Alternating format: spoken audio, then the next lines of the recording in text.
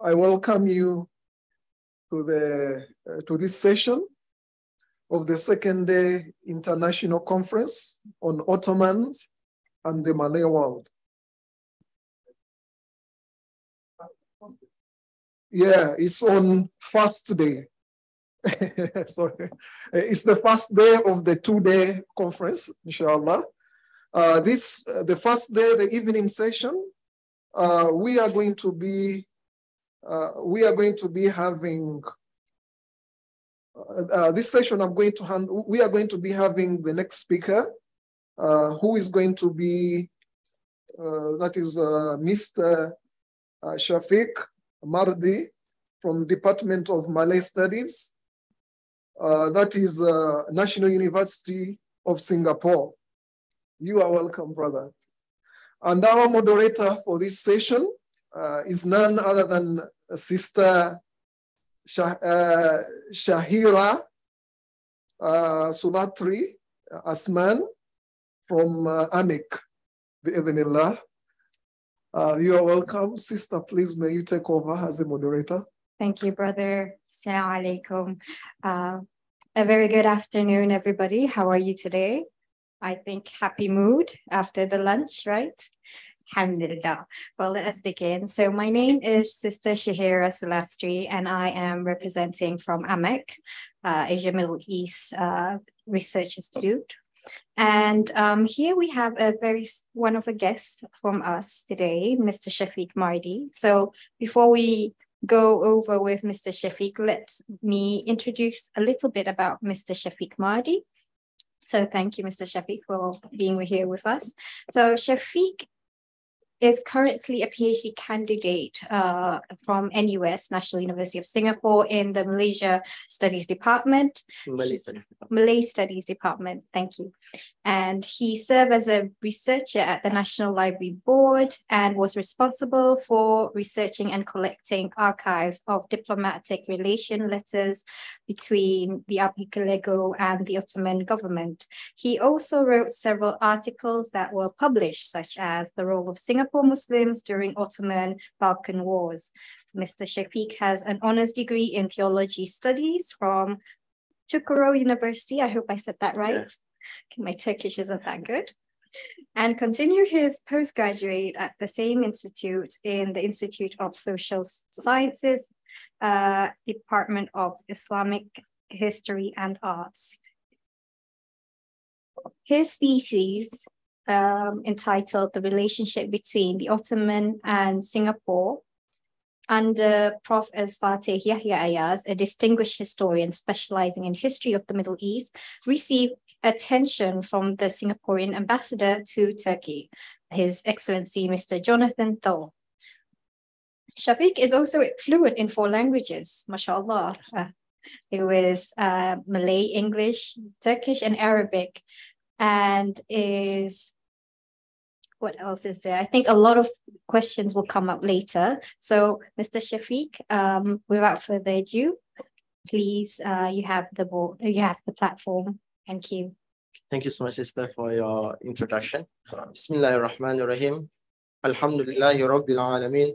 والصلاة والسلام على أشرف الأنبياء والمرسلين سيدنا محمد وعلى آله وصحبه أجمعين First of all, I would like to thank all of you, especially uh, distinguished professors, Prof. Alatas, and my uh, during my master's examiner, one of them is Prof. Ismail Hakkı Göksoy, uh, and all uh, and all other friends here for joining this conference today. So uh, for my conference today, I would like to present on the Singapore Sepoy Mutiny 1915 and the Ottoman relations. So before I start, uh, let me give a historical background on the 1915 because we know that uh, World War One uh, appeared or World War One broke out in 1914, 1924, or yeah, during those time, there's uh, wars happening in the world, uh, in European world, actually, I could say, not really world. Yeah, but the influence of the World War One is uh, tremendous in in the European world. But it the in this part of the world, such as Singapore, Malaysia, the influence are not that much actually. It's indirect influence. However, Uh, in Singapore, what happened in 1915, there was a Sepoy Mutiny, or they call it Sepoy Rebellion, some of the resources Sepoy Rebellion.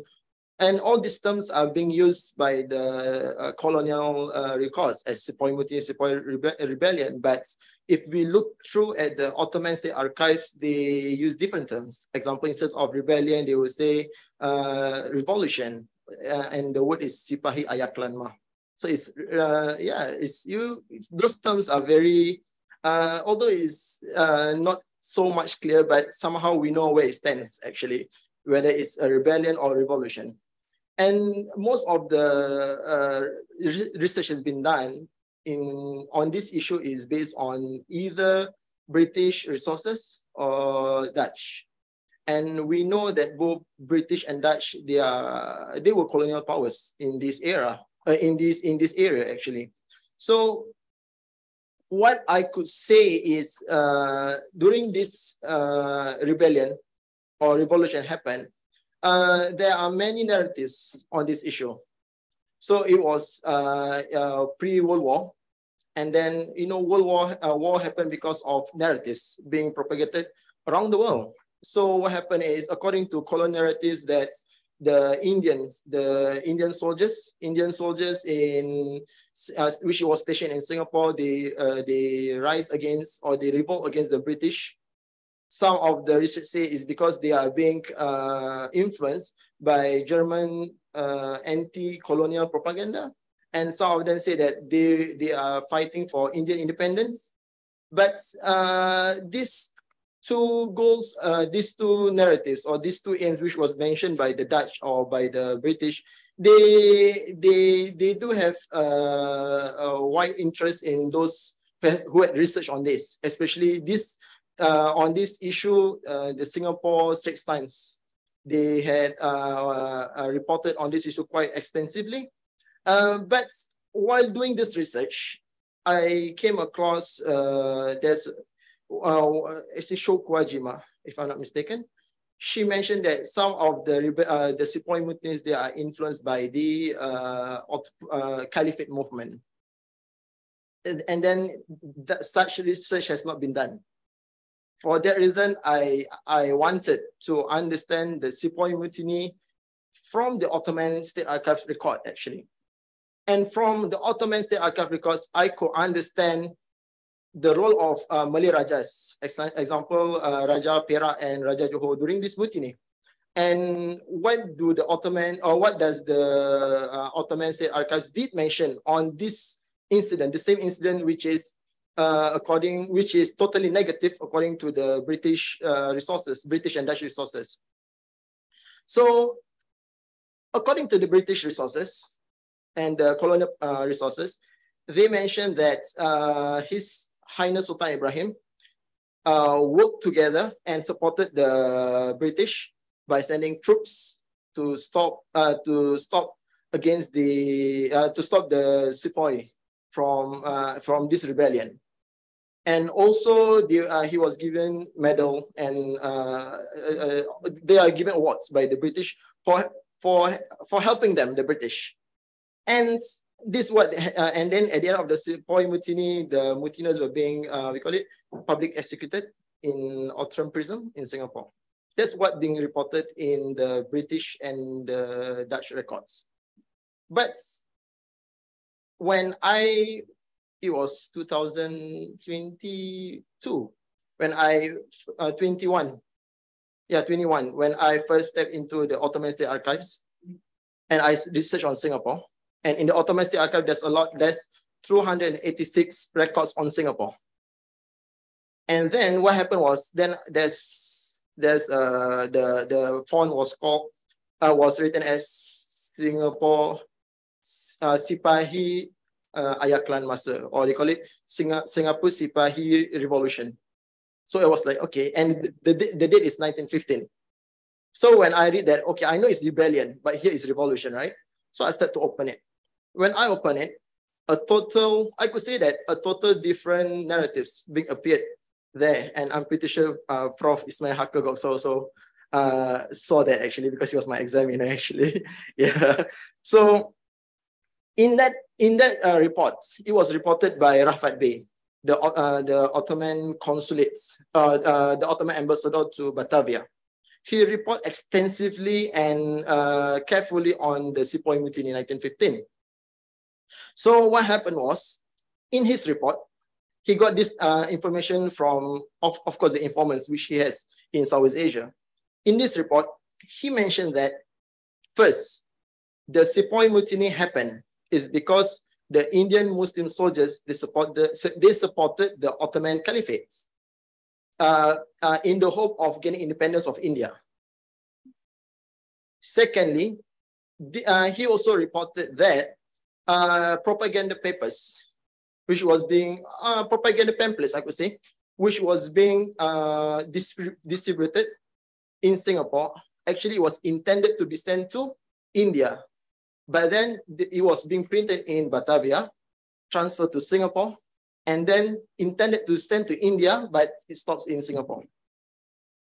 And thirdly, he mentioned, and I quote him, he said that although uh, the uh, Jaha, Johor, uh, the Raja of Johor and the Raja of Perak did send uh, you call it uh, Askar Melayu or Malay, Malay soldiers to stop this rebellion because he was, uh, he was, it is important for him to send it is because we are, we, and they were under the British colony, but he also instructed the Askar Melayu or the Malay soldiers not to shoot at the Indian Muslim soldiers.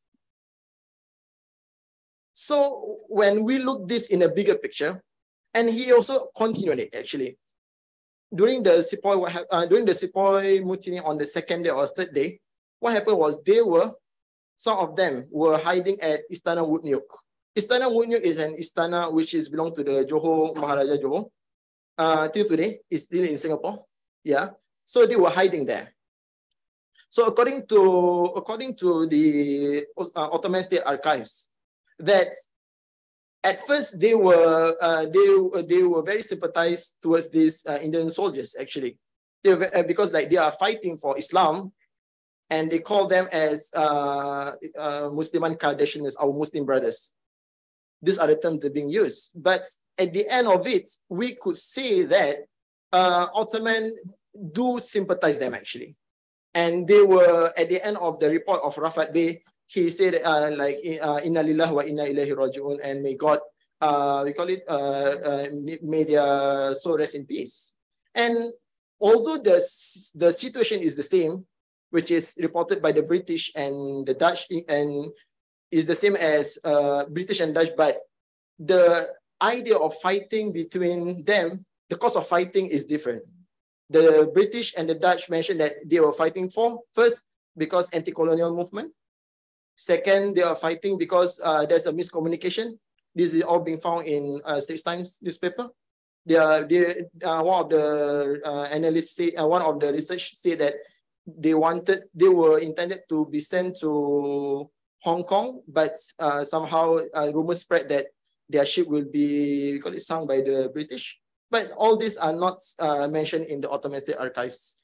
And what the Ottoman State Archives, as reported by Rafat Bey, is they were supporting the Ottoman Caliphate to fight for the Caliphate, and they they won't they will not want to fight against the Caliphate and support the British. Although they were they were under the, they were they were part of the British Army actually, and this is where we could see that uh, how the uh, global political phenomena uh, had uh, deep uh, uh, call it deep influence in Singapore actually because Singapore being a multicultural, multi-religious po political focal point in the in the bigger globe actually.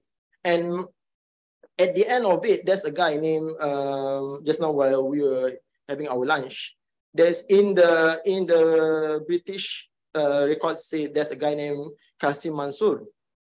Kasim Mansur, his name was not found in any of the Ottoman archives report by Rafat Bey. He's not mentioned. But uh, upon research, uh, Mansur, he, he is uh, one of the main idea to fight against the British. He is a, a jewelry trader, gems trader actually in Singapore. And his brother is a, a Ottoman consulate in Rangoon, which is in Rangoon actually. And he, he had uh, deep connections with the brother actually. And he even in the one of the archives, in the Ottoman archive, I saw his name here. He wanted to become Ottoman consulates, but I, uh, there's no reply at all. Yeah. So that's that's the uh, we call it. That's what happened in during that era actually of the Sepoy Mutiny. And unfortunately, most of the research being done today is all based on uh, colonial narratives, which is they are anti-colonial, they, they wanted to destroy Singapore, uh, all these things, but uh, from the Ottoman archives, they, that's not what they want actually. And so I, I would like to say that I, I'm refraining myself from using some of the research say that they were, they were uh, fighting because of they will be influenced by pan-Islamism idea. I pre I prepare myself using these terms is this this term is because uh, in the word pan-Islamism is from is is not what mean, uh, mentioned in the Ottoman archives. Instead, they in most of the Ottoman uh, records is mentioned as Ittihadul Islam, which is Islamic un unity. So uh, it's different connotation. Ittihadul Islam, Islamic unity, and pan-Islamism. Uh, it doesn't sound. It, it may have the same it have different agenda behind it actually. And most of the research said that they were being influenced by pan-Islamic ideas, anti-colonialist ideas. But is it is uh, what in the Ottoman archive is said that it, they are they wanted to support the Ottoman in the hope that the independence of India they can achieve. I think what, what how many times do I left? Okay, so uh, so while doing this research, I it, I, I decided to take one step back. So at the end of during uh, in the uh, in the British archives in the British newspapers mentioned that uh, I think you can see here, yeah. Sultan Ibrahim. So when during the mutiny happened, Sultan Ibrahim did send troops to Singapore with the as Tentera Melayu, yeah, yeah, Tentera Melayu. And after the end of the at the end of the uh, Sepoy, or the rebellion, what happened was he, he received medallion, uh, uh, praises from the British and all. But uh, surprisingly, in the Ottoman State Archives, he, he was also being praised by Rafat Bey because he works together by allowing, uh, by instructing the Malay soldiers not to fight against, uh, in, by allowing the Malay soldiers not to fight against the Indian Muslim soldiers. So you can see there's a political play there. And it's very interesting in, in, in order to, in, in, for us to really examine the political aspect of it actually. And uh, lastly, I could say that the Sepoy Mutiny is a tragic event happening, uh, did happen in Singapore uh, in before World War One because they did kill uh, civilians, they did kill uh, publics uh, the yeah the uh, the officers there, but uh, there's nothing to justify that. But the cause of it is uh, which being narrated by the British or the Dutch is almost the same, but not by the Ottoman, which is uh, not the same actually. Yeah, and most of the resources being mentioned is just uh is I could say is very complicated. Uh, is very uh how can I say it doesn't fit together actually. Well, example like from the British uh, record, they say that they, they say that is because they are influenced by German anti-colonial movement. Yeah, but uh, there's no records of it. Like I didn't see where is the pamphlets actually. What I what, what I have seen is the we call it uh, the uh, the pamphlets which is pro-Ottoman, which is being printed in Indonesia and uh, distributed in Singapore. And I see that I think in the Ottoman archive they did that pamphlets and it's written in Urdu language. Yeah, and they did mention about Singapore. And at the end of the uh, and when I got it translated at the end of the the uh, brochure or pamphlets, they did mention that it's better to uh, uh, die than live uh, than than live as a as a slave. Yeah, and probably that's where they got the motivation to to rebe rebel against the British. Actually, I think that's all for me. Yeah, thank you. Thank you, Chef.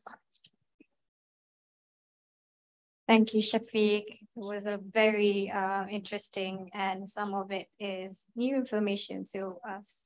So just to summarize, um, the conflict between nations do not occur suddenly. Mm. and it is a result of the accumulations of factors uh, etc that leads to war. So and war happens when diplomacy ends. Uh, we can see this in the case of palestine and israel i think and how narratives play a role uh, a role an important role especially right now in the media. Um, so moving on without further ado i think there are a lot of questions from the audiences. So please welcome the audience who have questions please come forward. And all you can do is just press the button. Um, yes, Professor. You may introduce yourself. Um, Farid Alatas from National University of Singapore. Uh, okay, Syafiq, uh, thank you for your presentation. It, it, it's interesting the um, facts, historical facts that we we don't know about, mm. um, and it's good that you have you know been able to get them from the archives. Um, so my, my, my question has to do with contextualizing, mm. right? So there there are a lot of facts.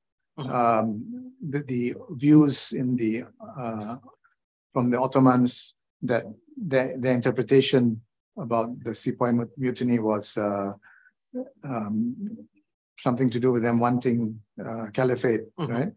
Um, and that's different from the the, the, the analysis or the, the views in the British mm-hmm. uh, the British control media, mm-hmm.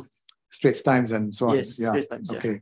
Now, so I think that's interesting, but I think it's important to put that within the context. Mm-hmm. So, for example, if the so the the, the Ottomans are um, observing what is happening in colonial Singapore, mm-hmm. um, and then you find statements in the Ottoman press, in the Ottoman media, about what they think about what is happening in Singapore. Mm-hmm. That should be placed within a larger perspective of what was the Ottoman view about British colonialism. Mm-hmm. I think this is important. Mm-hmm. Otherwise, those statements they don't mean much beyond what they are saying. Mm-hmm. But if, if you're able to put them within the context of if you can construct, you know, or reconstruct what is the Ottoman view, let's say from the 19th century onwards until um, the, let's say the World War One. Mm-hmm. What does do the Ottomans? Uh, what is the Ottoman theory about British colonialism? Okay. How do they understand it? Mm-hmm. Then you can put these sentences mm-hmm. that you have been extracting from the media mm-hmm. within that context. Uh, thank you so much, Prof, for your advice.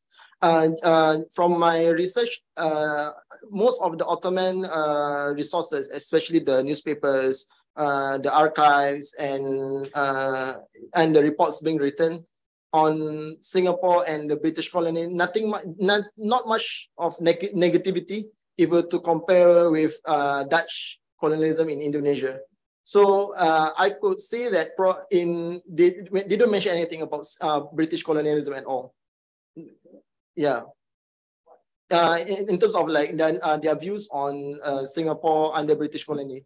Yeah. We are talking about the archives. Yeah, they are uh, on their perspective on British colonialism, not much actually. I but on, they have uh, very negative views on the Dutch colonialism in Indonesia. Yeah. I know you you are you are saying this about the archives. Mm, yeah, archives and reports. Yeah. Okay, but yeah. what about the Ottoman, you know, writings, scholarship, mm -hmm. historical works? What, what are they saying about British. Uh, because you did from the 16th, I would say from the 16th century 16, yeah. onwards, mm -hmm. um, when the Europeans are, uh, you know, in, in, in, uh, making incursions into Ottoman Empire, mm -hmm. and the Ottoman Empire becomes um, gradually weaker. Mm -hmm. For example, from the 16th century onwards, the Ottoman Empire stops being a major exporter of uh, of uh, finished product of silk. Mm-hmm. Right? Yes. They, they export raw silk to Europe and then they import the finished product. Finished, yeah. So they, they become weaker you know, mm. economically and gradually um, politically, militarily. Mm. So they are conscious about the incursions of the Europeans. Yes. They're conscious conscious about colonialism. Mm. So there must be, you know, Ottoman scholarship thinking about what is happening in the world. Mm. What is happening what what is happening with the you know with the with the Europeans? Why are the Europeans becoming more powerful? Yeah. And then when the Europeans colonize various areas, Mhm. they, they will obviously be reflecting on this. Mhm, So you need to to reconstruct that reflection, then you can put Mm. these sentences, these statements you are gathering from the archives within Yes. that uh, you know context. Context, That- okay. That's what I'm thinking. Okay. Maybe our friends, our professors from from Turkey will be able to tell us about the Ottoman views about colonialism. Just uh, a reminder, there's only two minutes, so we Well, uh, uh, well, uh, interesting point uh, put forward by Farid Alatas. Uh, of course, uh, Ottoman uh, government uh, always uh, tried to get information uh, about the Muslim communities uh, ruled by the uh, by the uh, European colonial powers, and uh, uh, especially at the beginning, uh, they didn't have much uh, uh, means to get information, Mm. but uh, after appointing uh, Turkish uh, Ottoman co- uh, consul generals to Batavia, so uh, usually uh, all the stuff, uh, official documents or reports uh, on the region come from the uh, Batavian uh, uh, Ottoman consul generate. So, uh, what kind of events uh, occurred uh, in uh, Java, Sumatra, uh, Singapore, and other areas uh, come from this uh, uh, this uh, consulate. Uh, so, Refet Bey, who was the, the last uh, Ottoman consul general uh, in uh, Batavia, Jakarta, he worked for a, a very long time. Mm. Uh, just uh, before uh, the war, he was appointed there, and then uh, he uh, stayed there for a longer period until the establishment of Turkish Republic in 1923. Uh, so, uh, I mean, uh, he uh, wrote the report, as you mentioned uh, in your uh, thesis and also in in this talk. Uh, he got information from some uh, Indian uh, colleagues probably. How uh, what kind of uh, events uh, going on? Uh, because I mean they Ottomans and the Germans cooperated with each other in Batavia, propagating especially Ottoman victories in the Dardanelles and also in 1915 and 1916. Some uh, they had a lot of uh, corporate activities uh, in the region. So uh, there are some, of course, uh, propagation uh, pamphlets uh, uh, published in Batavia, Mhm. and these were distributed by the uh, some uh, Indian origin uh, uh, persons uh, to Singapore, uh, Malaya, and also to uh, India. Mm. So uh, some of them, of course, were uh, cached by the uh, Dutch uh, authorities. Mm. Uh, and later on, uh, even there was one uh, printing house in Batavia. Uh, uh, these uh, uh, pamphlets uh, propagating uh, the Ottoman sympathy uh, among the Muslim communities was uh, because of the British uh, imposition uh, on the Dutch. Dutch was uh, on the neutral side uh, during the First World War. So uh, they Dutch tried to control whether uh, there is a uh, stuff published by that uh, printing house uh, against the British uh, war uh, aims uh, there.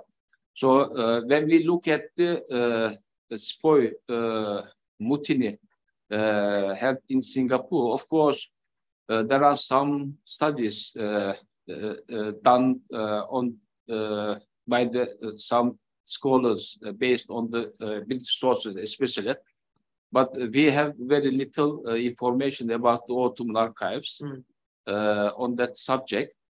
So, according to Ottoman uh, uh, uh, reports, uh, there are some influence of that uh, Ottoman uh, activities uh, in the region uh, as well. We can understand this kind of uh, reports uh, as well.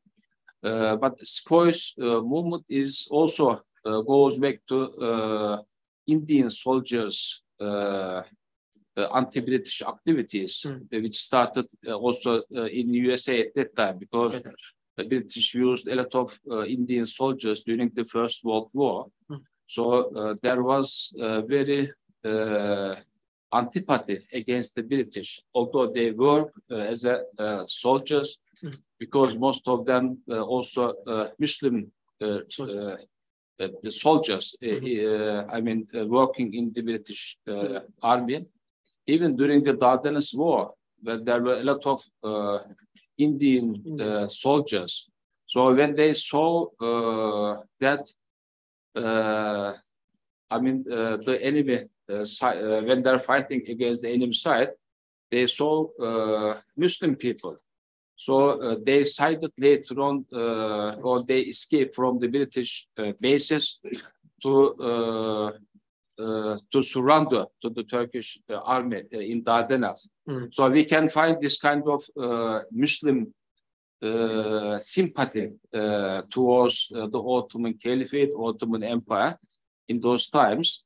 Uh, because of the colonial, uh, uh, I mean, ideology atmosphere, which are very, I mean, disturbing things for, for them. Uh, so, uh, I mean, the Ottoman perspective uh, at that time was that Ottomans, especially during the Abdul Abdulhamid period, I mean, they were very uh, unhappy about the treatment of the Muslim people uh, under the British rules. So, for instance, uh, the commander of the Ertuğrul Fırkateyn, when uh, it was in Singapore, he reported about uh, the conditions of the Muslim people living uh, even in Thailand, in Patani, and also in Malaya, Sumatra, under the Dutch and the British government. And I mean, the uh, commander, Turkish commander, uh, compares uh, Dutch uh, attitude towards the people with the British one, and it says, well, British uh, provides more freedom mm. uh, than the Dutch to the Muslim people in in this area. So, I mean, the Ottoman government knows what is going on, especially in this region and also in some other regions uh, as well. Thank you. All right, thank uh, you. Thank you very much. I think Syafiq, that's a lot of input for you to put in your PhD. All the best. and if there are any other questions, perhaps you can directly go to Mr. Syafiq because we have time constraints with the other speakers. I'm sorry. Uh, so thank you. Let's give a round of applause with Mr. Syafiq for Mr. Syafiq, please. Thank you.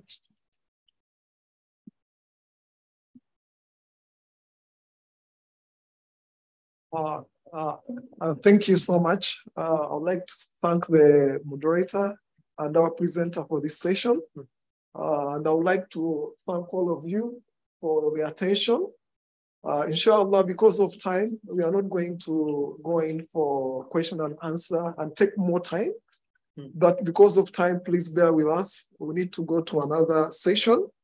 Another session before I can release you to go. Uh, another session is going to be the Ottomans' uh, concubine to the Sultana of Johor, the story of Khadijah Hanum. So before you can go, inshallah, we can uh, present the gifts. Uh, yes, we can. Can we get the gifts, inshallah, for our moderator and the presenter, uh, uh Sister uh, Shanaz? At the end of this session. Yeah, yeah. So inshallah, we can get the gifts uh, and we'll kindly request Professor Farid, inshallah, to give our participants, our, our, uh, our presenter and uh,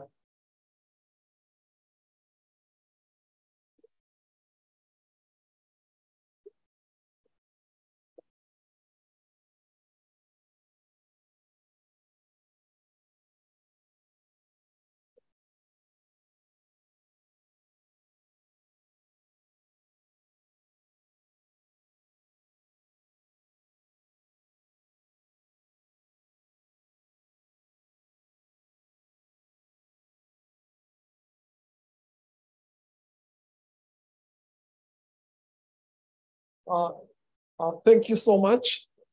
Inshallah, we are going to go to the next session. I'm going to uh, request Sister, uh, this session is going to be by Sister Shazwan, Syazwani Elias from ISTAC. And the speaker is going to be uh, Mr. Tayfun uh, Ak uh, Akgam. I hope I pronounce it properly from ISTAC Bi'idhnillah. So please allow me to give this session to the moderator. Please take over. We have 30 minutes, then 15 minutes uh, uh, question and answer. Bi'idhnillah. Thank you. No, this one, the typhoon. Bismillahirrahmanirrahim. Assalamualaikum warahmatullahi wabarakatuh. Uh, and very good afternoon to all of the participants in this call, be it in or in the ISTAC TV virtually. Okay. Bismillah. Uh, my name is Nurul Syazwani. So uh, I will be the moderator for this session, for the fourth session. So the speaker for today is Brother Tayfun Akun. Did I mention, did I? Tayfun Akun is really good Akun. pronunciation, yeah. Alhamdulillah, Alhamdulillah. Okay, before we go further, uh, allow me to introduce our speaker for this session. Brother Tayfun Agun is a PhD candidate at the International Institute of Islamic Thought and Civilization, uh, IIUM. He has a bachelor degree in history from Pamukkale University, Turkey, and a master's degree in history and civilization from IIUM. I believe it's in Gombak, correct? Yeah. Alhamdulillah. His research interests are in Islamic reform in the Malay world, Malaysian historiography, and Ottoman Southeast Asian relations. And among his published works are Syed Sheikh al-Hadi, views on the educational reforms in Malaya, the Ottoman consulate in Singapore, 1864 to 1926, and the beginnings of modern history studies in Malaysia, a bibliometric study of the Journal of the Historical Society, the University of Malaya, Kuala Lumpur, 1960 to 1969 and 1970. Alhamdulillah. Without further ado, I would like to pass the floor to Brother Typhon for his uh, presentation in on the interesting topic entitled From the Ottoman Concubine to the Sultanah of Johor, the story of Khadijah Hanum. How many uh, minutes I have? 30 minutes or? Okay, I will remind you once you, uh, your time is going to end and you have 30 minutes starting from now. 30 minutes, okay. Uh, very good afternoon. Uh, first of all, I would like to thank the all organizers of this important conference. I am really happy to be part of the conference. I hope that this uh, important conference will be beneficial to development of Ottoman Saudis relation historiography in the future. My topic is a little bit magazine issue, but is important. Today, I am going to present a paper from the Ottoman concubine to the Sultana of Johor the story of Hatice Hanum. Hatice Hanum was the last and fourth consort or wife of Sultan Abu Bakr of Johor. Uh, she was of Circassian origin. Uh, uh, there is a dominant view that uh, Abdulhamid II presented uh, the Hatija and her sister Rukaya to Sultan Abu Bakr in sometime in the 19th century. And this uh, shows that the, the existence of imperial marriage between the Ottoman Empire and the Sultanate, Sultanate of Johor. Also, this issue is discussed within the framework of Pan-Islamism. Uh, but I don't want to discuss the theoretical issues of Pan-Islamism. In my presentation, just I want to ask simple question. Was Hatija actually the former Ottoman concubine in the Ottoman Imperial harem. To solve this easy question, but not easy, do I will ask more questions. Who was Hatija? When, uh, when and how did she brought to Johor? Uh, when, where did Abu Bakr marry her? What did Hatija do after Abu Bakr passed away in 1895? I want to introduce my sources. Uh, I have used several sources, uh, Ottoman archival documents, Malay hikayats, shairs, shairs. That means uh, hikayat, but in the, the poetic form. Uh, and also the English newspaper journals, newspapers published in colonial Singapore, as well as um, the Ottoman and British travel accounts. Uh, what I can say about the sources, actually all my sources don't provide the comprehensive account of the origin, the early life education, and the Ottoman past of Hatice Hanum.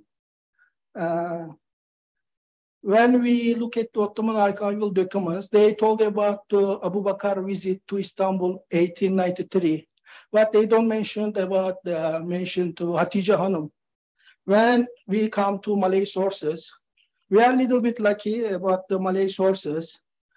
They roughly refer to Hatija, but they don't talk about the origin or the early education of Hatija. Because Malay sources are centered on the Abu Bakr, the Sultan of Johor. But luckily, I have some English newspapers.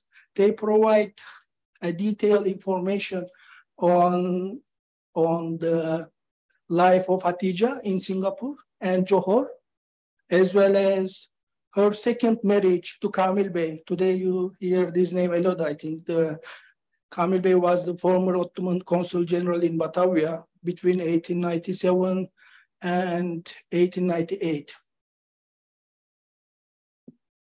Also, in addition, the travel accounts helped me reconstruct the story of Hatice Hanum. Just a small design by methodology. I employed the historical analytical method. Uh, I said that I don't have the comprehensive information on the Hatija. That's why I'm using the deductive reasoning and rational estimation. I will um, use some different data and then deconstruct, this, deconstruct and reconstruct the story. Also to solve the, the lack of uh, sources, I will locate the story in the context of Ottoman-Johor relations, as well as I will try to look, look at the issue from multiple perspectives. For example, sometimes from the Abu Bakr perspective and sometimes from the Hatija Hanum perspective. Okay, what why this story is important? When we look at the, the history of Ottoman Southeast Asian relations, the relations are political, uh, intellectual, diplomatic, religious, and militarily since the 16th century. But the, in the pattern of Ottoman Southeast relations, we don't have mm, the imperial marriage, except the story of Hatice Hanum. That's why this, I think, story is unique in the history of the relations of between two regions. The other issue, this is really interesting, mysterious and controversial event in the history of Ottoman-Johor relations. Actually, Ottoman-Johor relations began in the 19th century. It's really late, late date compared to Ottoman Acehnese, Acehnese relation that started in the mid middle of 16th century. That's why it's, uh, I think, important to look at uh, this story. The other issue, the, the story of Hatija uh, has not received enough attention in the literature. We have many, um, not many, a few studies on Rukaya Hanum, her sister, but no Hatice Hanum. Prof. Sulastri wrote about the Rukaya Hanum, and then Rukaya Hanum was your grandmother. Büyük büyük. büyük büyük ya. Well, Malaysia besar or what? büyük yeah. Yeah. Büyük. But in the literature, the subject is full of many generalization, assumptions, and myths. Inshallah, I will try to solve this issue and then I will answer the generalization, assumption, and myths. Okay. Uh, firstly, I wanna make uh, some some terminological remarks. Uh, for example, if you look at the Malay sources, Hikayat Johor or Shahir Abu Bakar, we can see the, um, the spelling of Hatijah, Che Hatijah. I think Che means uh, tatin or lady or, or this kind of things. And also in the sources, they call her Sultana Atija. Okay, this word difficult. Permaisuri, Permaisuri, correct? Permaisuri, a queen, queen, yeah, Permaisuri. And also in the English sources, uh, they call her Sultana of Johor, Hatija, uh, the, the Dowager Sultana of Johor, or ex-Sultana of Johor.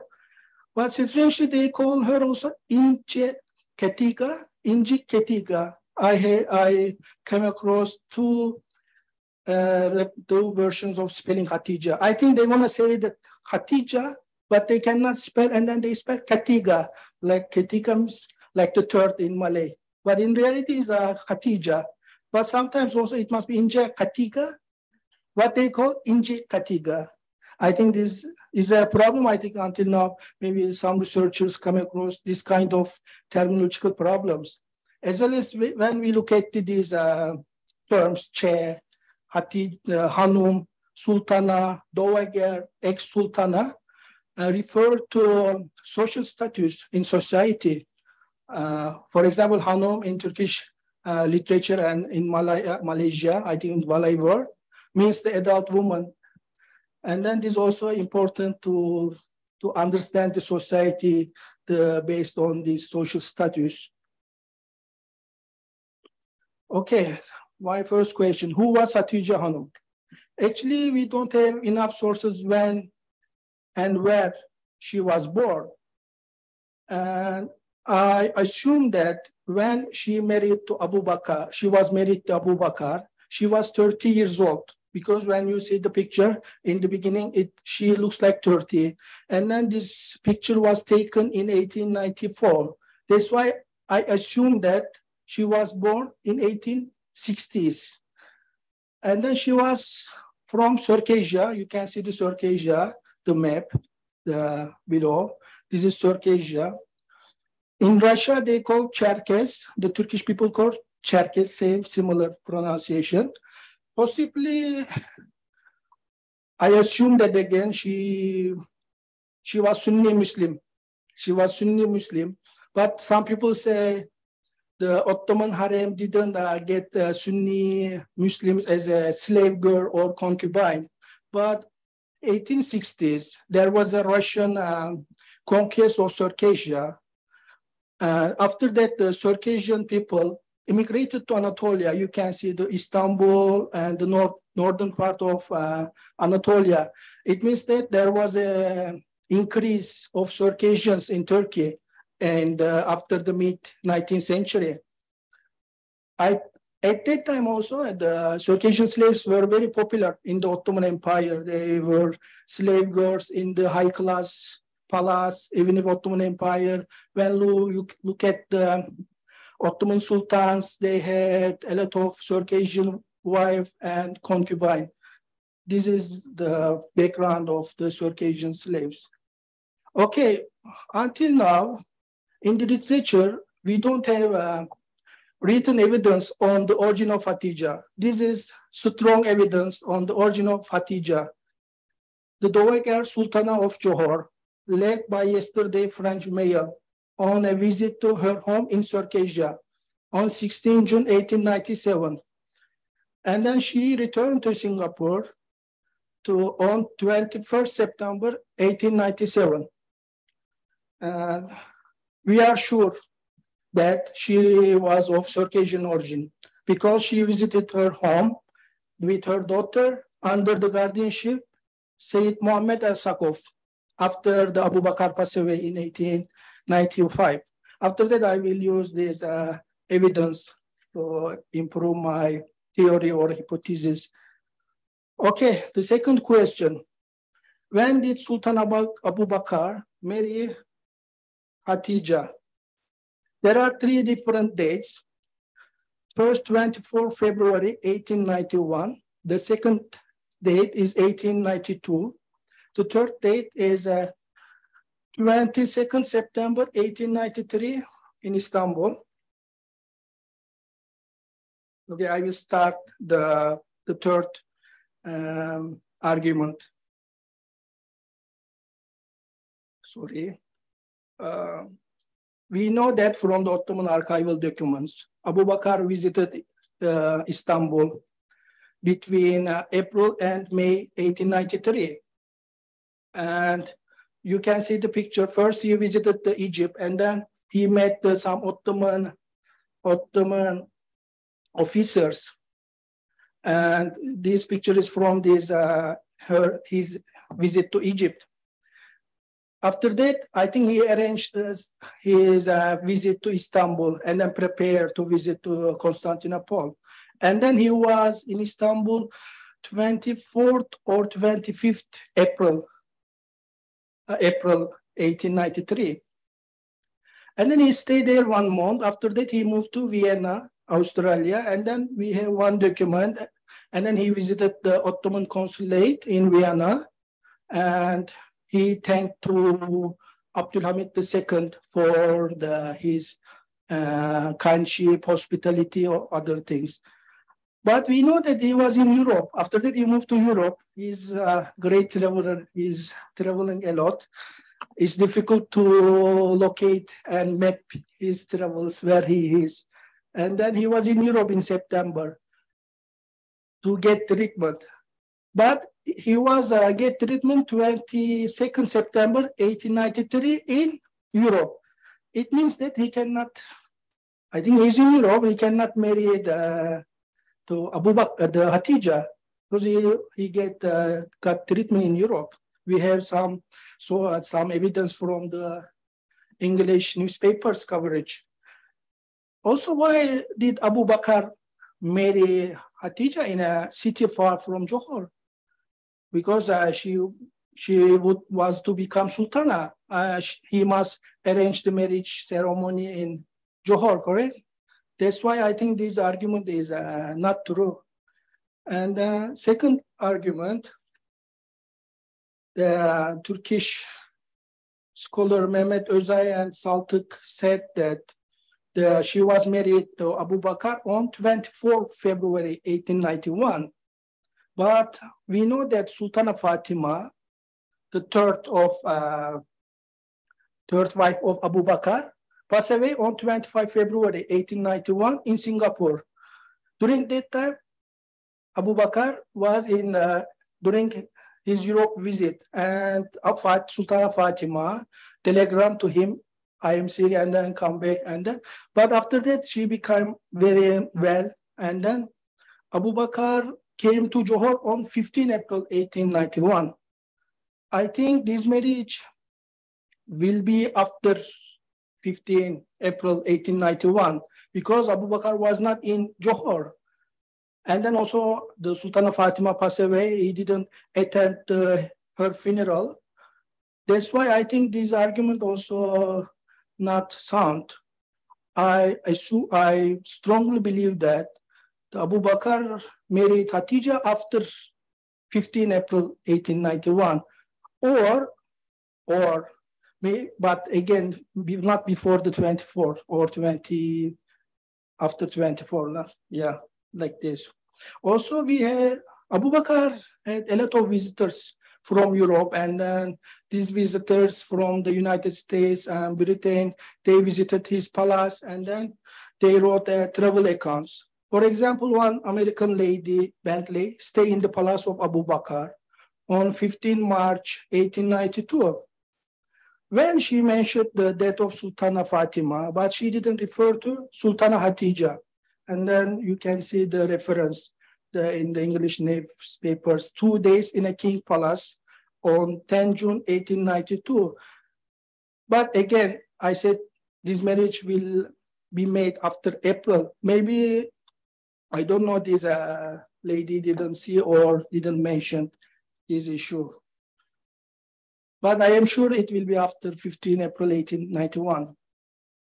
Okay, this one, the, another, another evidence. In Katiga, Abu Bakr's beautiful Circassian wife. I can quote Istana Zahara or Woman Palace. where reigned supreme over 150 women.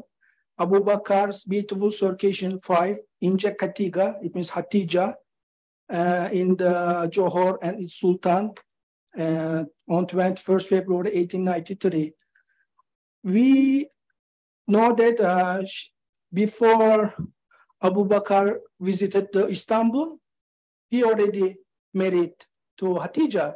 It means that the Abdulhamid II didn't give Hatija to Abu Bakr, not this 1893 visit. Before that, she was available after Sultana Fatima passed away and then married. So he married to Hatija.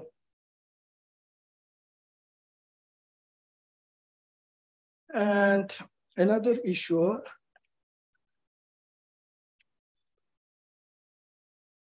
sometimes some scholars refer to marriage issue. They married the, the on 38 February 1894. But at that time, she became the Sultan of Johor.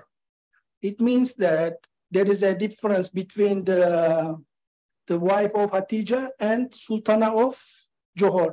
She first became the wife of the Abu Bakr, and then maybe two or three years, years later, she became the Sultana of Johor.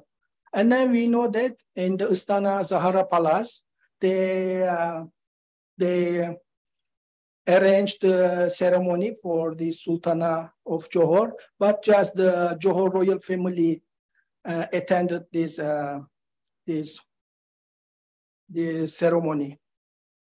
Also, when we look at the Hikayat Johor, in the Malay quotation there, I will, I will read it in English.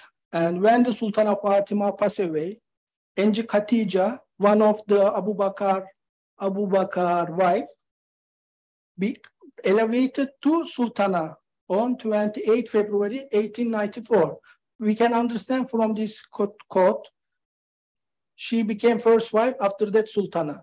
But I don't know why, why did she become Sultana three years or two years later after the marriage? Why Abu Bakr waited for, waited the, for these three years? I don't know this issue, but I cannot also assume. Maybe later in my paper, I will clarify this issue. Uh, this one no need. These one pictures are for Abdul Hamid. This the second Hatija, third the Abu Bakr, fourth one Rukaya, her sister. I have 10 minutes. Also, when we look at the, their, the her name, Hatija and Hanum, Hatija looks like Hatice, I think is common in the Muslim world, but Hanum is a Turkish. Uh, it means that adult woman. Uh, we know that the, in the Ottoman imperial harem, when the Ottoman slave girl became free, they generally prefer to take new name. It means they want to start a new life. And then they choose the names from the family of the prophet, like the Hatija or Rukaya and other things. Maybe this Hatija as a name show that their Ottoman connection. But still they are not, uh, I mean, they are not strong evidence. We must, historians look at the written evidence a lot, I think. But again, the, this is important evidence. But when we look at the Ottoman archival documents about the Sultan Abu Bakr visit to Istanbul, no reference to Hatijanum, even if once. They don't mention about Hatijanum. Also in the 1893, one Ottoman traveler, Mustafa bin Mustafa, visited Chor Palace. Strangely, this uh, Sayyid Muhammad al-Sagoff uh, meet him and then introduced the Mustafa bin Mustafa to Abu Bakr. And then this uh, Ottoman traveler met him and then they went to Johor from Singapore. And then the Ottoman traveler said, we have really good uh, discussion and speech for a long time. But he didn't mention Hatijanum. He mentioned the taste of durian. It was like garlic or, you know, he talked about mangosteen, really sweet. when this issue comes, all people are silent. You know, they, they don't want to talk this, the origin of Hatija. I don't know this Mustafa bin Mustafa. I mean, okay, I look at the problem from my perspective. I am going to Johor and then this Hatija was from Ottoman Empire in the 19th century.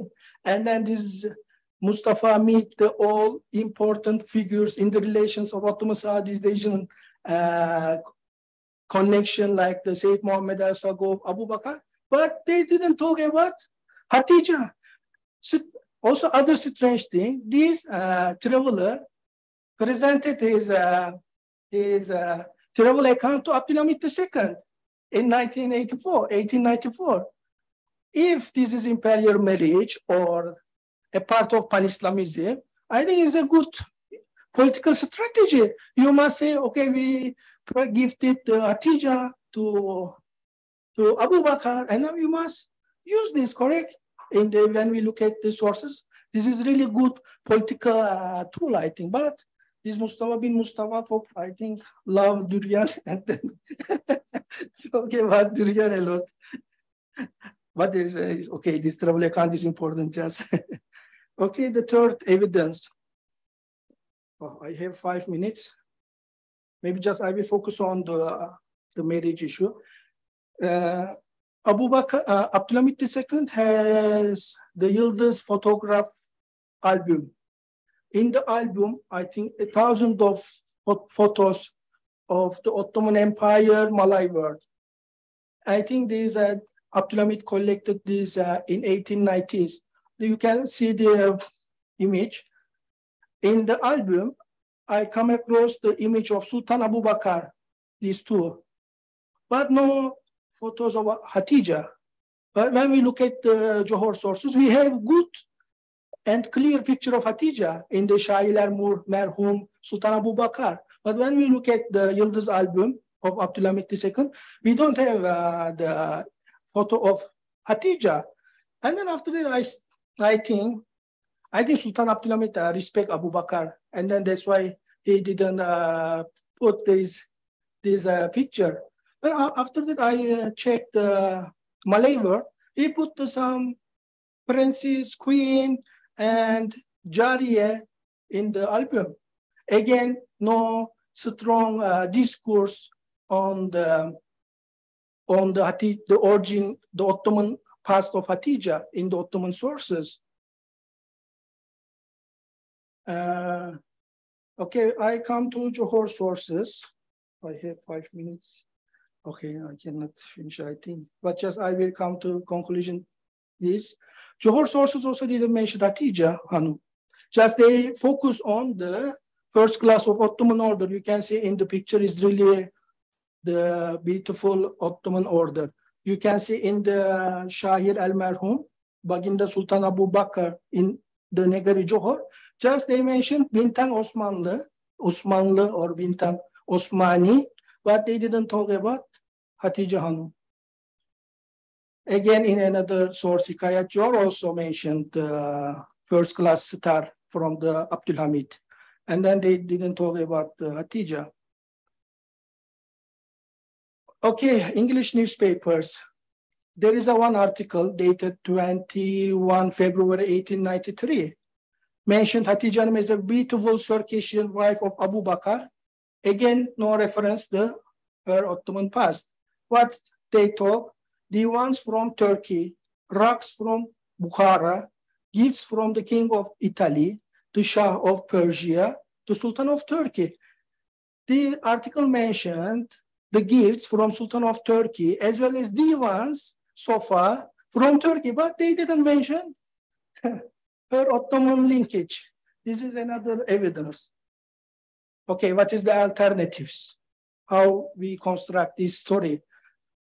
Before I, we know that Abu Bakr had 150, some people say 40 Circassian girls. It means that he had a Circassian slave girls or concubine in the harem. Maybe Hatija was one of Circassian women in the palace. And we know that in the 19th century, the important cities of the Ottoman Empire, like Cairo, Istanbul, we have the slave markets. and Circassian women were available and dominant. Maybe the Abu Bakr or Sayyid Muhammad al-Sagoff bought this Hatija from there. And then maybe we can give the data. On average, annual imports amount to 12,000 slaves, about 87% of them African, 13% Circassian or Caucasian. It means some of them Circassian, some of them Georgian. It means that we had really big slave trade in the Ottoman Empire. Slave trade of Circassian women. Okay, I don't go to details of the how she can she she was bought from Circassia, how she came. Maybe later, if I get question, I will answer this. Third alternative is her sister Rukaya maybe first came to Johor, and then she demanded the, her sister to bring Johor. We know that the Florence lady visited Johor Palace and then saw the Rukaya. And then she described Rukaya, the called Rukaya Turkish lady. However, she couldn't speak to the European language. Maybe this Rukaya feel uh, alien to culture or other things. But before I said there are there were many Circassian girls in the, the in the Johor harem. Maybe I don't know. Maybe she a little bit bored or something because different culture. Maybe she demanded her to bring the Johor palace. Okay, when Abu Bakr passed away, she became Dowager Sultan of Johor. Dowager means a widow who, whose husband passed away, but had a rich inheritance from the husband. And then she stayed in Istana Woodneuk in Singapore. Also, she passed away there in on 1st February 1904. Okay, I, how many minutes I have? Finished already? I think uh, it is the time for you to conclude. Okay, after the Abu Bakr passed away, she married to Kamil Bey Ottoman consul uh, on the between 24, 27 December 1898. And then they moved to Constantinople and then they lived there. After that, the Abu um, uh, Kamil Bey was appointed to, to Liverpool as an Ottoman consul. And then she moved to uh, she moved to Liverpool. But we know that from the English sources, she came back to Singapore and then she missed uh, her children. And then she didn't want to go to uh, Constantinople Constantinople or Istanbul. And then she speak with uh, other passengers on the ship. And then she said, I don't no great desire to return anytime to Constantinople. But she returned to Liverpool.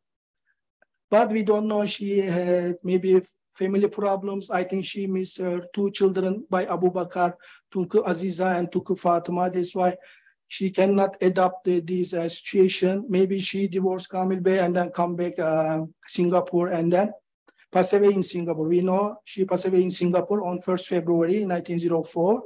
Her grave was in the Teluk Singapore. And okay, this is the last last picture. This is really a clear picture from the, I think, Dutch archive.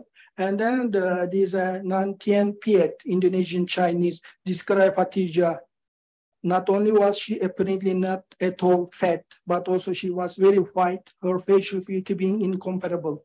And this uh, Indonesian Chinese author said she was like a European uh, woman, white face, and then she was not really gemuk and fat. he said, said, I don't say, uh, this is not my description. These are non-TMPH say like that. Okay. I think it's good. Just maybe last point. We must reconsider the Ottoman-Johor relations from the new perspective and new material sources. There are lots of uh, assumption, myths, generalization, and outside unsound uh, arguments. We can look at the, the history of Ottoman-Johor relation from the multiple perspective and from the new sources. It, I hope also, the, there are lots of Circassian slave girls in Johor Harem. Maybe in the future, it's hoped that some researchers look at these Circassian girls from the history from below, from the perspective of Circassian girls. Thank you so much. Uh, thank you, Brother Tayfun. Uh, I hope we have learned something new from this session.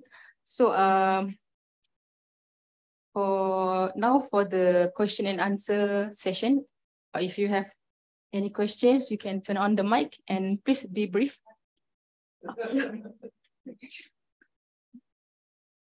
Uh, okay, uh, thank you, uh, Tayfun. Very interesting. Um, I have uh, many questions actually. I will ask them very briefly. Uh, firstly, can you explain what you mean by historical analytical method? That's one. Uh, the other questions on on uh, a few points regarding uh, Hatije Hanum. Why do you assume that she's a sister of Ruqya Hanum? Oh, yeah, I don't have enough evidence also. Ah, yeah, that's right. So it's I think it's just speculation yeah. based on on yeah. rumors, right? Yeah. Um, and then also, why do you assume she was Muslim?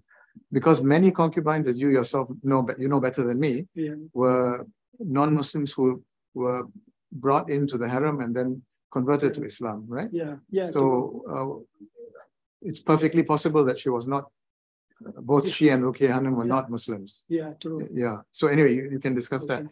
But uh, regarding when she came, there was a newspaper article you put there, I think February 1893, mm. Straits Times. Yeah. February 1893, was it right? 1893, yeah. February, I don't know which one. Uh, uh, which, which, which, refers to well, I cannot the Circassian Sultana of yeah, beautiful uh, Circassian yeah. wife. Yeah. Yeah. 1893, I think. Yeah. Okay. Before uh, Abu Bakr went to Istanbul. Istanbul. Yeah. That means that is proof. That's proof that she most likely was not given to Sultan Abu Bakr by Sultan Abdul Hamid. Yes. Right? Yes. Because Sultan Abu Bakr had not gone to Istanbul yet. Yeah, but some people say Sultan Abu Bakr visited to Istanbul in three times, correct? I think we can say this is definitely not true. Yeah, okay. Because of the, the account of his visit um, in some of the sources, where Sultan Abu Bakr says he has never met yeah. Sultan Abdul Hamid before. He wants to meet him for the first time when he was in Egypt. He was saying this. Yeah. I think in April.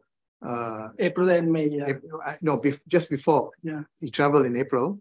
He was in Cairo and he was mentioning how he has never been to Istanbul. He has never seen the Sultan and so on. Yeah.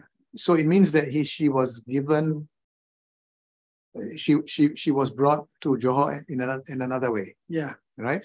It also strengthens the, my argument that Ruqya Hanum was also not given by Sultan Abdul Hamid, but came to Johor in another way. Yeah, Said Mohammed Al Sagoff. That's what I think. Yeah, I think so because Said Mohammed Al Sagoff. We know that already Johor harem had a lot of Circassian girls. And then we know that after the mid 19th century, we there is a big slave trade between Circassia until to India. There is a one article in Cairo, for example, we can see the Circassian slaves there. And then they came from, actually, maybe we must talk how they came to Johor. We must explain the slave trade. Actually, there are two kinds of slave traders. One is slave, source slave dealers, the other market slave dealers. Source slave dealers went to Circassia, bought the woman there, and then brought to Istanbul, sell in the slave markets. These market slaves went to Istanbul, bought the slaves, and then brought them to the Cairo or Damascus or Yemen, and then they sell these Circassian slaves in these places maybe we know that this uh, Malay world always had a connection with this Middle East. Also, Sayyid Muhammad Sagoff had a company, the ship company, also Gulf company. Maybe Sayyid Muhammad brought both this woman and then others also, other Circassians, and then brought them to Johor.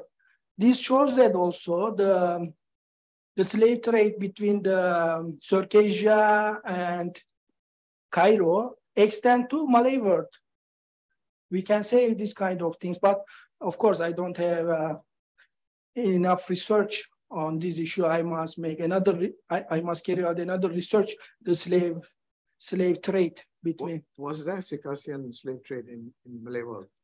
Yeah, I, yeah, there are, Johor Harem had 30, 40 Circassian girls. There is a one American uh, visitor. He's, he said in the Johor Harem, there were 40 Circassian girls. I think we know that these uh, market slave dealers run the business, not just the slave business, they also sell another commodity until the India. Maybe the trade came to until the Malay world.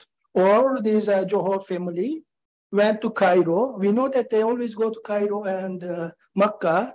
They bought these slave girls from there and then brought to here. You see, all this will make my family very angry. Yeah, I know. If they were, I am so sorry. because because the, the idea has been all along that these two ladies were given by Sultan Abu Bakr. Yeah. Given by Sultan Abdul Hamid II to Sultan Abu Bakr. And I think now what you you are suggesting, and also what I I suggest in my own uh, research, that they could not have been given by him because yeah. they came before he left, before he went to Istanbul. Yeah. Before yeah, it's Sultan clear. Bakr went to Istanbul. It's clear because in Kayat Johor, yeah. they said when Sultan Fatima passed away, one of the one of uh, the Abu Bakr wife, one of the woman of Abu Bakr, become the Sultan of Johor, correct? After the Sultana Fatima passed away, she became the wife. But we have, I think, enough evidence to uh, persuade your family.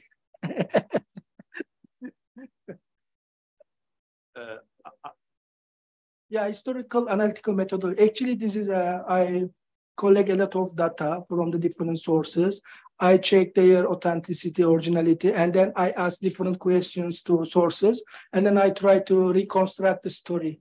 Yeah, this one historical analytical methodology. Actually, this is little bit narrative inside because the story pushed me to narrate this story. After that, I must be analytical. I must understand the story in analytical way. Also, I can put maybe this, I must discuss the pan-Islamism issue. I don't discuss here pan-Islamism. She she came here by the, the pan-Islamism issue. I don't discuss uh, here. Maybe we can put pan-Islamism as a theoretical framework in this paper, maybe later. Thank you so much for your suggestion. Yeah. Hi, Tayfun. I have a question with related with the prophets. Uh, as you said, there are uh, there were 40 Caucasian lady. Mm -hmm. So why they uh, choose to just these two ladies? as a uh, sultana. Why the Abu Bakr? Why not others? She's pretty. correct in the picture we cannot share. She's really the correct. It's Caucasian.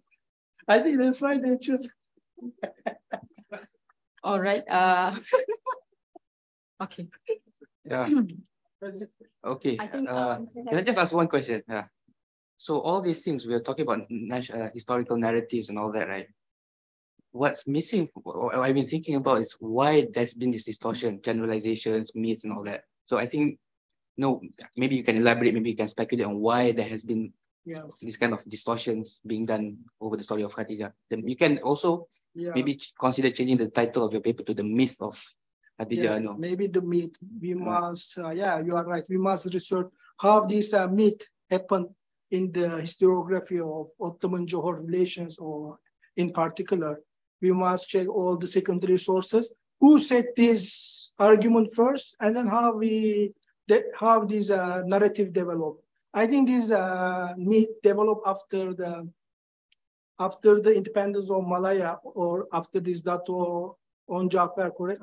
Dato Onn Jaafar visited Istanbul to uh, try to get information about her, his uh, grand mother, maybe Hussein, Hussein, sorry, yeah, Hussein. Maybe after that, this one uh, developed. Because when you look at the contemporary sources, primary, contemporary primary sources, they don't mention the, the her. Uh, Brother, Assalamualaikum. I, I would like to share uh, an observation, yeah? Yeah. Because when you put it at like an imperial marriage, it's as if the Ottoman and Johor is on the same part. It is not.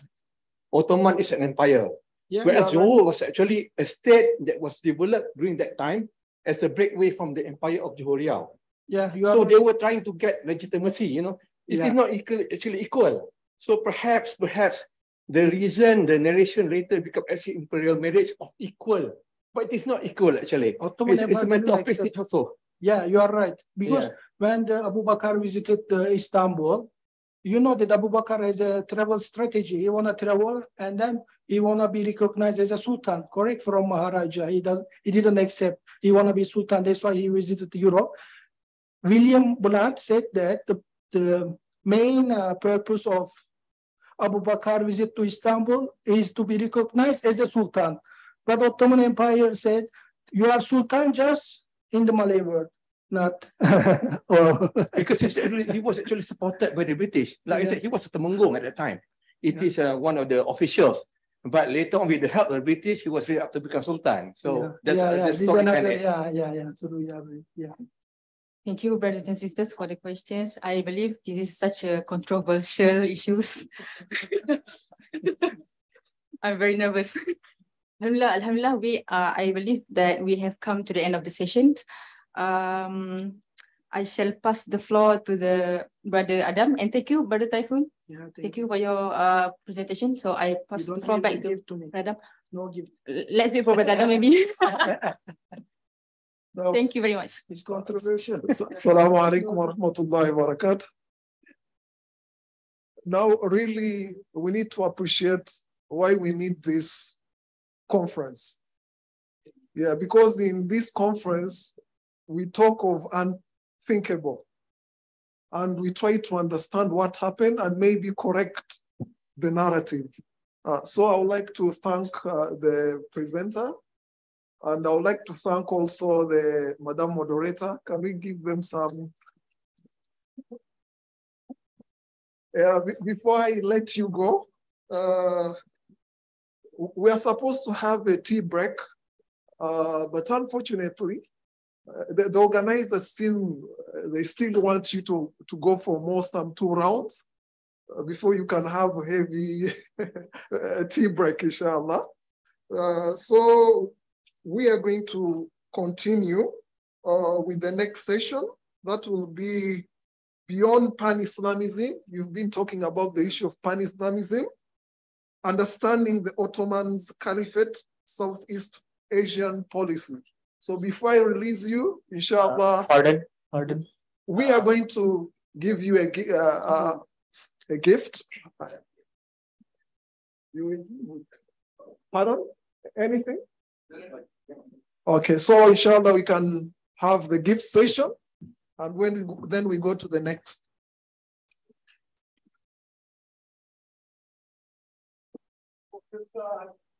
Please,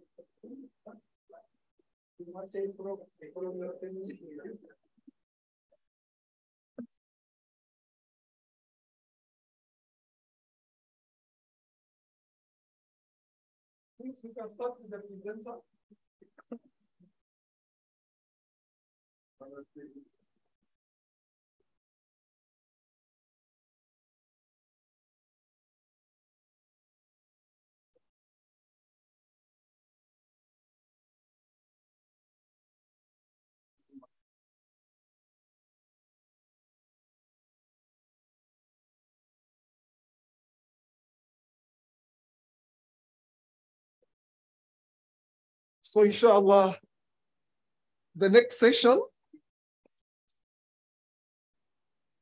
Our moderator, our moderator for this section, or this session is going to be Mr. Sohil Marjani from uh, AsiaWE. Inshallah. And our speaker is going to be Dr. Alaeddin uh, Tekin, Department of uh, History, Social Science, University of Ankara. Uh, so please uh, welcome.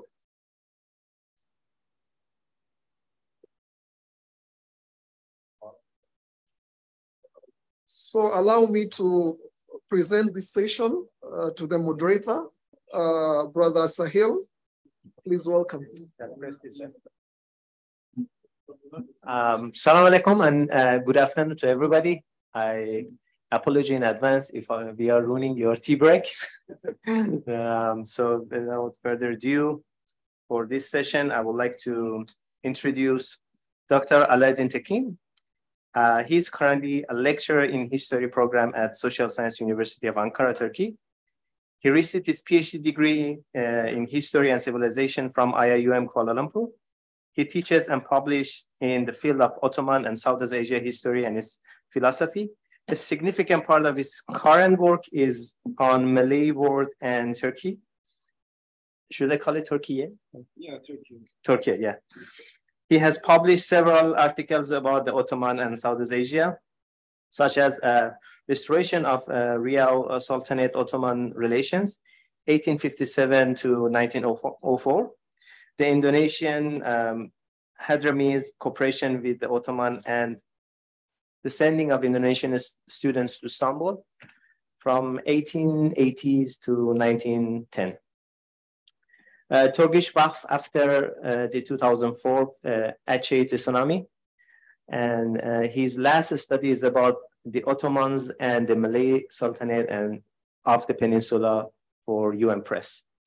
So your topic for today would be on um, beyond pan-Islamism, unveiling the Ottoman Caliphate's relation with Southeast Asian Muslims. And I think it would be a very interesting topic because of course it's firstly is about, um, uh, as you mentioned, uh, it's about, it's here, sorry. It's about uncovering the historical factors regarding the relation between the Ottoman Caliphate and Muslim in Southeast Asia. And secondly, it would be more interesting for me is because of your name. I love Aladdin. Yes. My childhood favorite character. He's Arabic. Yeah. You're so from? I'm from Iran. Oh, okay. Yeah, yeah. But no worries. Aladdin is is uh, all I think uh, Middle Eastern's favorite. Yeah. Okay. Thank you so much. I will just leave this station. And thank you so much for your introduction. Assalamu alaikum wa rahmatullahi wa barakatuh. Uh, actually, I decided to talk about, and I will try to draw a general relations between the Ottomans and the Malay world for your audience.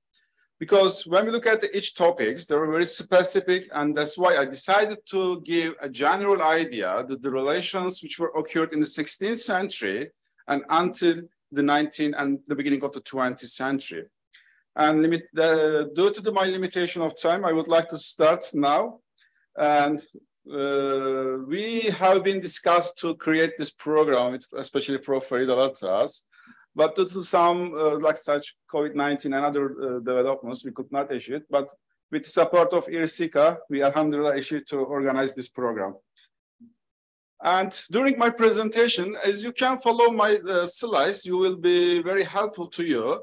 And I divided the topic into two parts. In the first part, I will talk about hot power, which was occurred Aceh, Kedah, Riau, and Jambi. Then I will talk about the soft power relations of the Ottomans with the Malay world, especially at the beginning, at the late of 19th century to the uh, first quarter of the 20th century. So firstly, uh, sometimes it's really hard to summarize this kind of relations in a limitation time, and inshallah, I will try to do my best. And to better understand the relations between the Ottomans and the Malay world, we have to go back to 16th century when everything started here. Uh, with the, the fall of Mamluks by the Ottomans in 1517, and the control of Aden in 1538, the Ottomans reached the Indian Oceans and its borders stretched from the middle of the, uh, Europe to the Indian Ocean.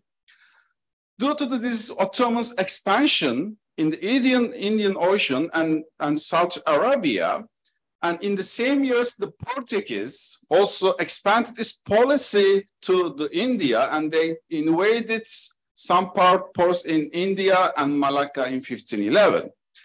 With this purpose, the Sultan of Gujarat requested help from the Ottomans to uh, help them to expel Portuguese from the India.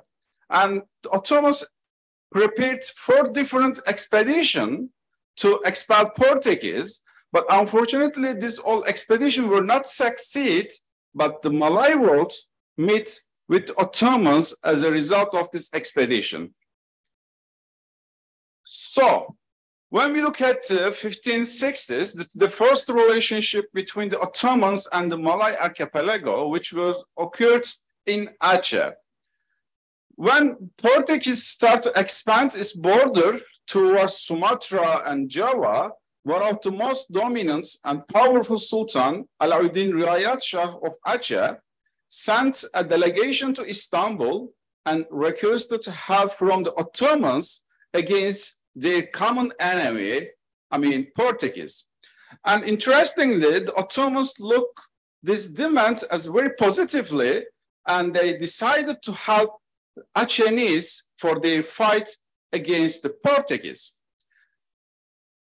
When we look at uh, the, their requested from the Ottomans, the Sultanate of Aceh, Alauddin Riayat Shah, wrote in his letter that if the Ottomans sends a fleet to help them, they can defeat this infidel, I mean, Kafir Portuguese in his letter. And Ottoman replied that they decided to send a total of 15 galleys, two galleons, seven artillerymen, enough military engineers and masters, as well as gunpowder cannons, rifles, and other tools and equipment to be sent Aceh from the Ottomans' Suez port. This is really a big decision for the Ottomans to send a huge navy to the Malay world for their fight and jihad against the Portuguese. But some unexpected developments occurred when Ottoman decided his uh, decision and some rivalry in Yemen and need to conquest of Cyprus and Tunisia, the Ottomans decided to postpone a few times to send this huge navy, but they decided to send two military aid ships to Aceh. This is really also important because it's as a kind of military technology transfer from the Ottomans to the Malay world. And because the, in these years, the Ottomans was the most powerful country in the world, and they have the military technology. In these two ships, when we look at what they carried out, especially they ported from Suez around Egypt, and they carried gunpowders, big cannons, and military engineers and masters to teach local people and soldiers to need this technology transfer. And this transfer also uh, occurred some traditional Malay literature as a tale of Lada Sechupak, one of the big, biggest canon, and Professor Göksoy translated this hikayat. So I catch these pictures from a movie which were produced by Javanese a few years ago. I think the name of this movie is Sultan Agung. And as you can also see in this movie, the Ottomans start to teach this new technology to the local soldiers because their enemy has already this technology. And with these rifles and cannons, the Ottoman Caliphate was an alternative power for the Muslims in the Malay world. And also these all uh, events and transformation will occur to some hikayas. Uh, hikayas. So this is some example uh, of Ottoman cannons uh, in Aceh and Sumatra. When the Dutch expats from the Sumatra, they brought this kind of huge cannons to the to to in uh, Netherlands, and they're exhibiting in a museum named Bronbeek History Museum. So interestingly, when everything was going well, the relationship between the Ottomans and the Malaywars were interrupted around 300 years. And I can explain why this happened because one of the most important reasons can be long distance between the two regions. And the can be reason the lack of common interest between the two regions, especially when the Portuguese expats from the Malay world. And Ottomans entered a period of stagnation and the burning of Ottoman Navy by crusaders, and the death of some dominant figures such as Alauddin Riayat Shah, Sultan Suleiman the Magnificent, and his son Sultan Selim II. And due to these factors, the, the, the, relations, the diplomatic relations and hard power relations ruptured around 300 years. But interestingly, when we look at the first quarter of the 19th century, the Sultan of Kedah, Ahmed Tajuddin Halim Shah, also uh, Professor Kadı translated these documents to English. And when this, there, there was no any interstate relationship between the Ottomans and the Malay world, the Sultan of Kedah sent a letter to, uh, to Istanbul and requested a help for against the Siamese. According to Professor Kadı, because Ottomans did not reply to this demand, and according to Kadı, he introduced that he said that the Ottomans were very busy due to the Greek rivalry in the same year. But one there can be one reason that because until this time, the local sultanates in the uh, Malay world, they requested help from a Western country and colonial country, but in that time they refused requested help against Siamese, which was not very well known by the Ottomans.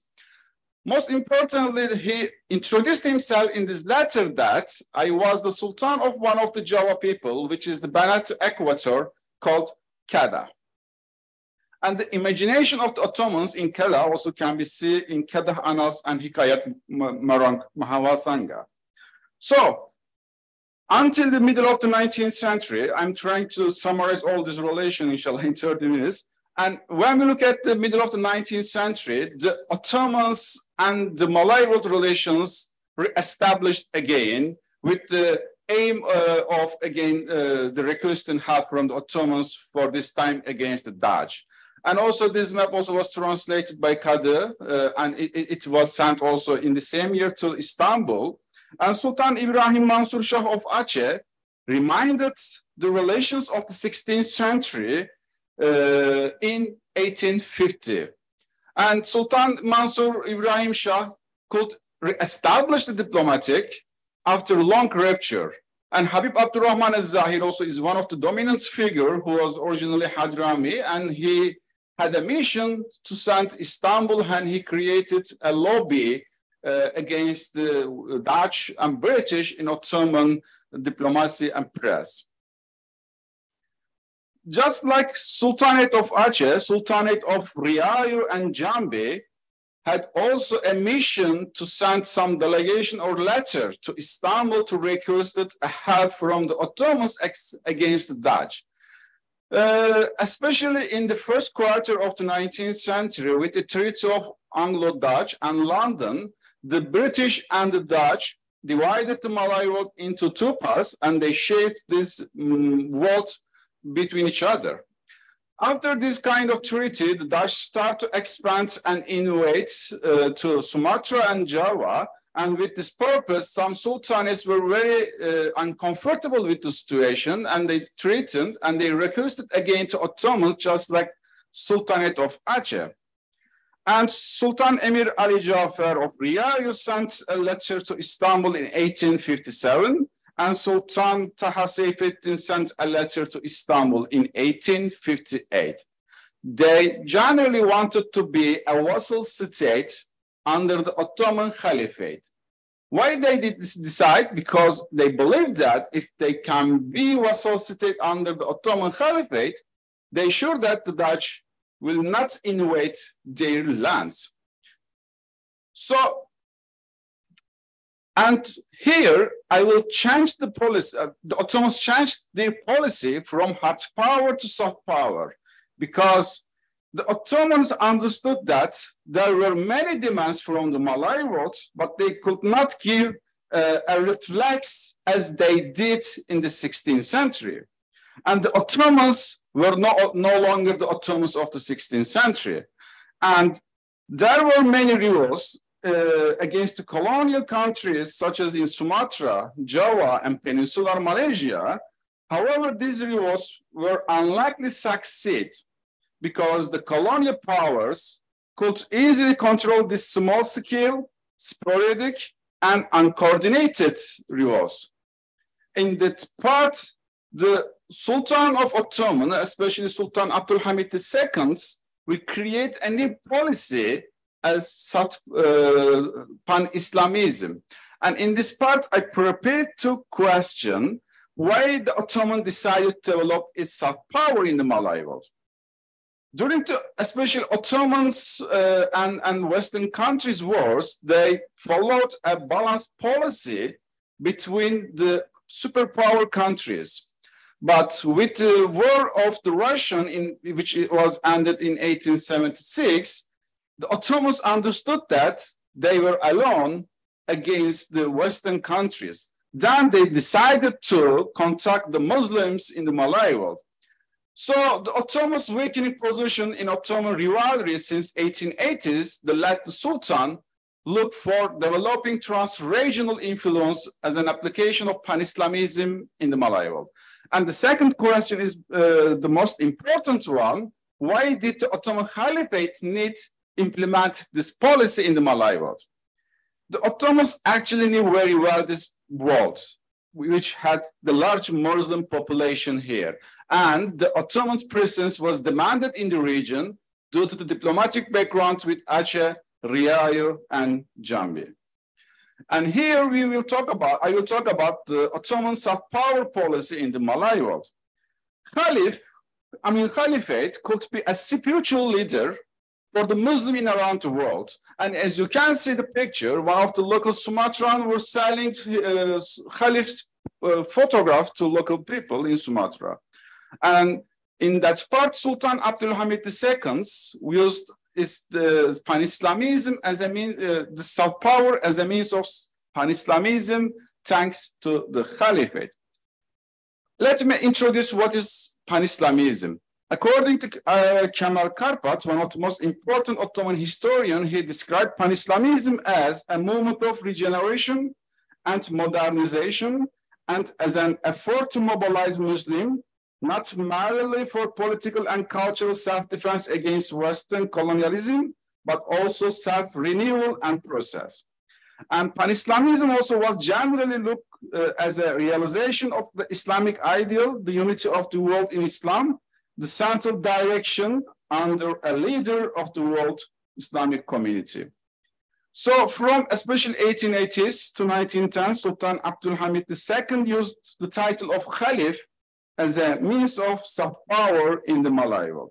It was actually a message to the Western countries that Islamic world was not alone. And the second message to the Western countries that uh, the Ottoman was not over yet.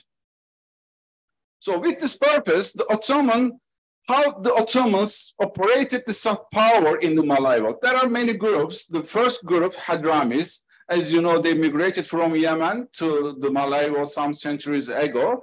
They could speak Arabic, they could write Arabic, and they were the subject of the Ottomans. So that's why when the Ottomans start to operate it is soft power policy, Hadramis generally the main groups who applied this policy in Java and Sumatra and Peninsular Malaysia. And during the Sultan Abdul Hamid time, he appointed many ambassadors or consuls to Batavia and Singapore, also they controlled and followed this kind of policies. The role of Malay and Javanese Hajis, also they are a very important group because the pilgrims to Mecca shaped and influenced each other with the ideas throughout the Ummah. And therefore the Dutch and British wanted to minimize Malay and Javanese Hajis to Mecca and Medina, and they wanted to control them. And the next khutbah. Khutbah also is very important, and Ottomans sent thousands and thousands khutbah network to mosques in uh, Java and Sumatra to read in the name of the Sultan, and they followed uh, pan-Islamism ideas from this kind of khutbahs. And the next one, pan-Islamist publication. The major source of dissemination for the Sultan Abdul Hamid II's pan-Islamism policy in the Malay world was the press, including newspapers, magazines, and holy books important from Cairo, Istanbul, uh, uh, and Mecca, and produce some of them produce also locally, inspired the most uh, influential Islamist thinkers such as Jamaluddin Afghani, Rashid Rida, Muhammad Abdu. All these publications were systematically criticized the Dutch and British colonial rule in the Malay world.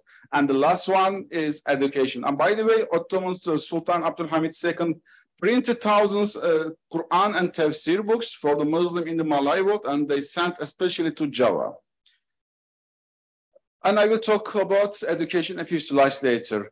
This is some consulates, except the last one, three of them were Hadrami, but Professor Kadı today talked about Saka was not a consulate. That's why I put a question mark here. And Ataullah Bey, when he contacted with some local sultans in Sumatra, he died in a sudden traffic accident uh, in 1903. And this is the consulates of Batavia. They're more crowded than Singapore. And except the first one, Said Aziz Baghdadi, also originally an Arab, the rest of them appointed from Istanbul from the center. Those who applied this power most effectively generally accepted as Ali Ghalib Bey and Kamil Bey. So this is the picture which I took when I visited Jakarta. It was the first Ottoman consulate building in central Jakarta. Now it's using as textile museum and some center for batik. And this is the uh, education also, especially uh, the, the, Ottoman, the Ottoman consuls start to think we should send some students to Istanbul to take education schools in Istanbul. And this is the some list of these students. And also we published this article uh, with Professor uh, Dr. Uh, Alwi Alatas. And when we look at here, unfortunately, the selection students uh, sent to Istanbul was not made in an efficient manner. And the selected students were the children of Hadramis, who known to be close to Turkish consul in Java, and except a few of them who originally Alatas family, the rest of them generally were not succeeded during their education in Istanbul. So due to the soft power policy of the Ottomans, some diplomatic and humanitarian relationship with Istanbul were emerged here in this Malay Peninsula. These were Johor, Patani, Malacca, and Perak. Let me, uh, especially Sultan Abu Bakr uh, of Johor's uh, visit, but is I think under discussions, but influenced maybe Patani uh, and, and, and, Sultan of Brunei is because yeah.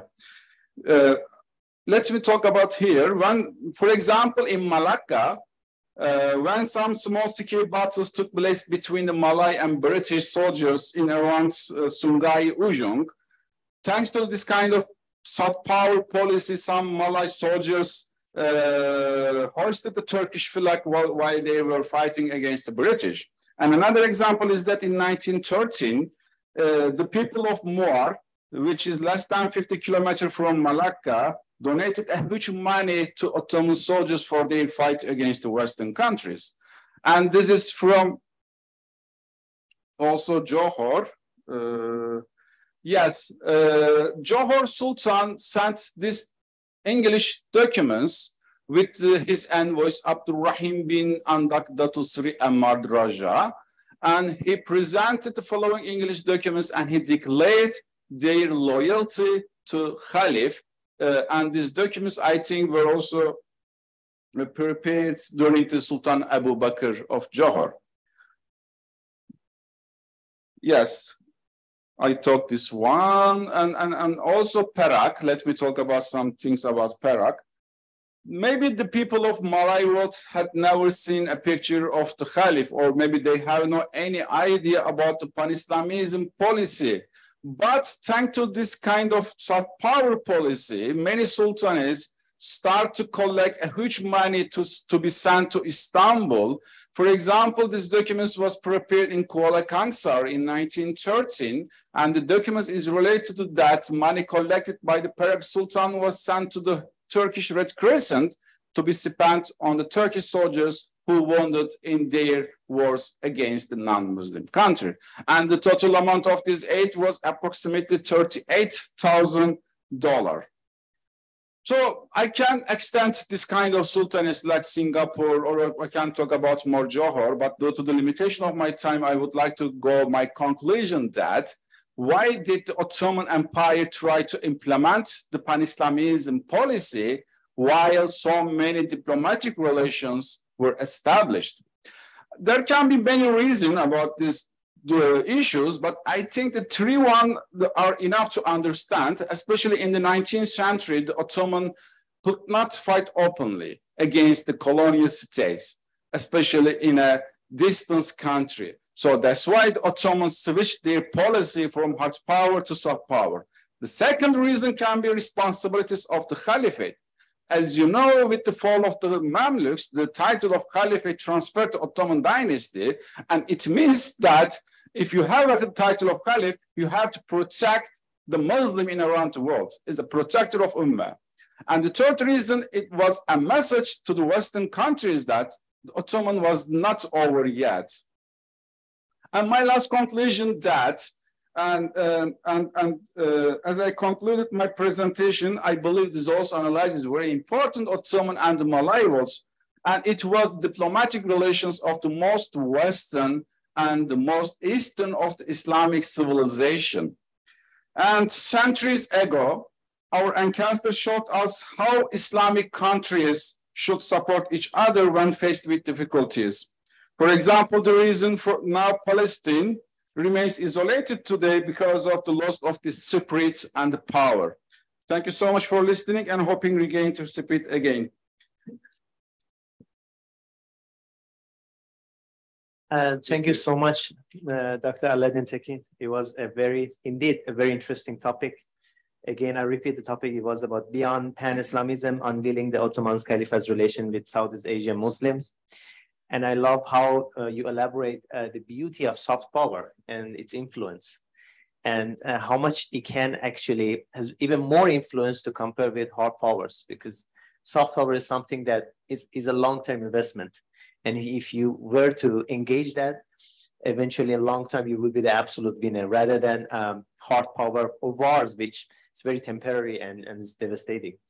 Thank you so much again. And I would like to ask from floor if there is anyone have any question, please do let us know. We have a very short period of time. Anybody, please go ahead. Uh, warahmatullahi wabarakatuh. Uh, I would like to start my question with a bit of background. Uh, I am descended from one of the Perak aristocrats which were exiled to the Seychelles.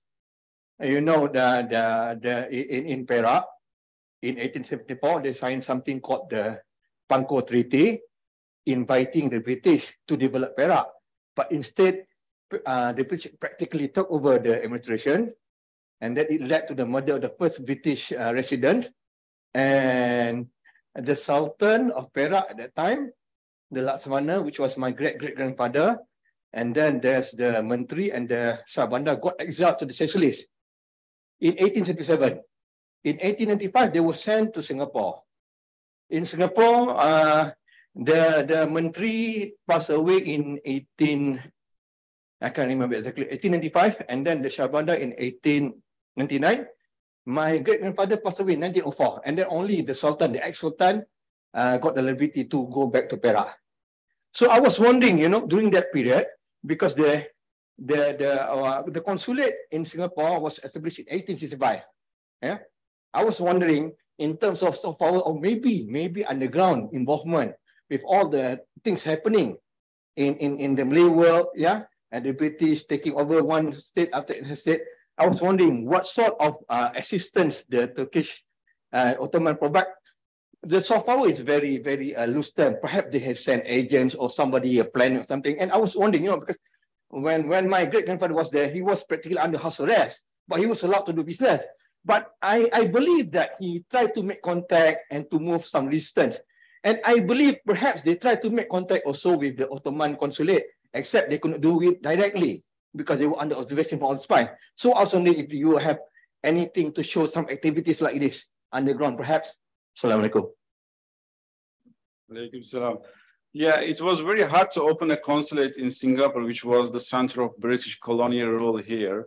And that's why uh, the Ottomans actually, when they start to send a representative of the Khalif to the region, even though there were many fights in Sumatra and, and, and other islands, especially the Dutch were not very comfortable for this appointment, not British. And the Dutch sent many reports to the British to not be happy about this representative. That's why the Ottomans could not appoint a, a consul uh, in Singapore, and, and uh, Al Junaid and maybe Sagoff were honorary consuls in here. And the, the reason Ottomans upon appointed these consuls to Singapore especially they have some reasons about this uh, economical and, and, and because it's one of the biggest hub in, in the Malay world.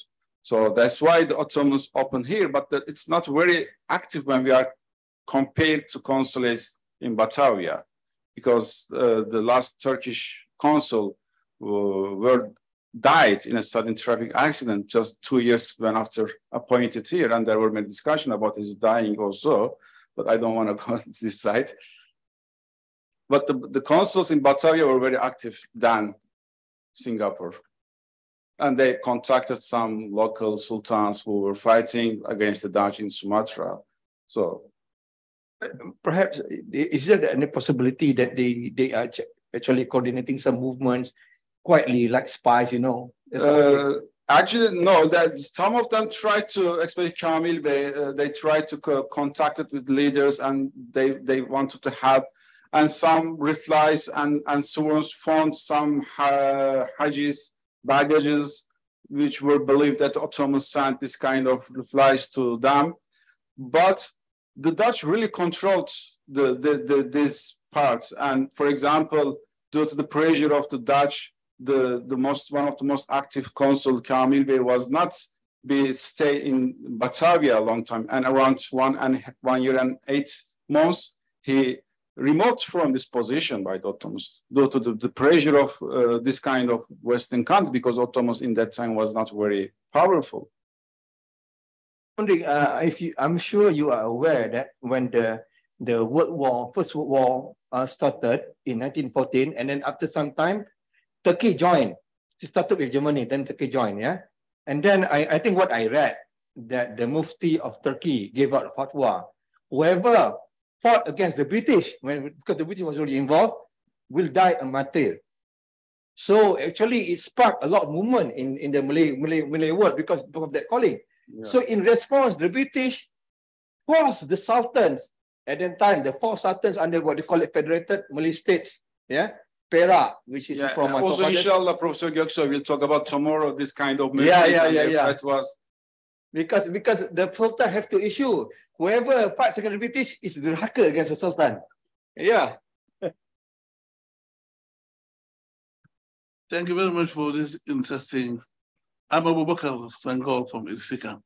It's a very interesting topic. Um, as a uh, non-historian, come from the legal sciences background, when I when the British arrived in the in this part of the Islamic world, where they not where the people not they're all not Muslims, they found Islam here, right? Then if they found Islam here, was there any kind of relationship between the Ottoman Caliphate and the Muslims before the advent of colonial rule? And then therefore there would not have been any need for them to send uh, uh, have consulate or consul, because the term consulate general or consul means that somebody who is representing a country in a different jurisdiction. So, uh, so uh, in other words, was it that was it that this the Muslims here they are somehow independent from the Ottoman Caliphate? And then secondly, one thing that I like about your presentation, and I think the rest of the who doesn't have it presented, is using the word caliphate instead of uh, empire. The, the, Ottomans, I'm not a historian, uh, you will educate me on this, but in my humble opinion, they inherited the amana that was entrusted to Abu Bakr Siddiq in Al-Medina al-Munawwara immediately after the demise of the Prophet sallallahu when he was elected or selected or nominated to lead the Islamic world. So after the Sahaba era, you have the Umayyad era, the Abbasid. And then the Ottoman, in my humble opinion, they pick it from the Abbasid as that amana, leading the Islamic world. Not necessarily as as politicians or only political, political and spiritual leaders. How, how come this terminology comes into our history instead of caliphate? I know that they were using sultan, but why not caliphate? Why, why, why empire? Thank you. Actually, when I was a PhD student in Malaysia and in my first presentation, I used empire and many professors gave me many feedback and they were very harsh that should I not I, I should not use the empire.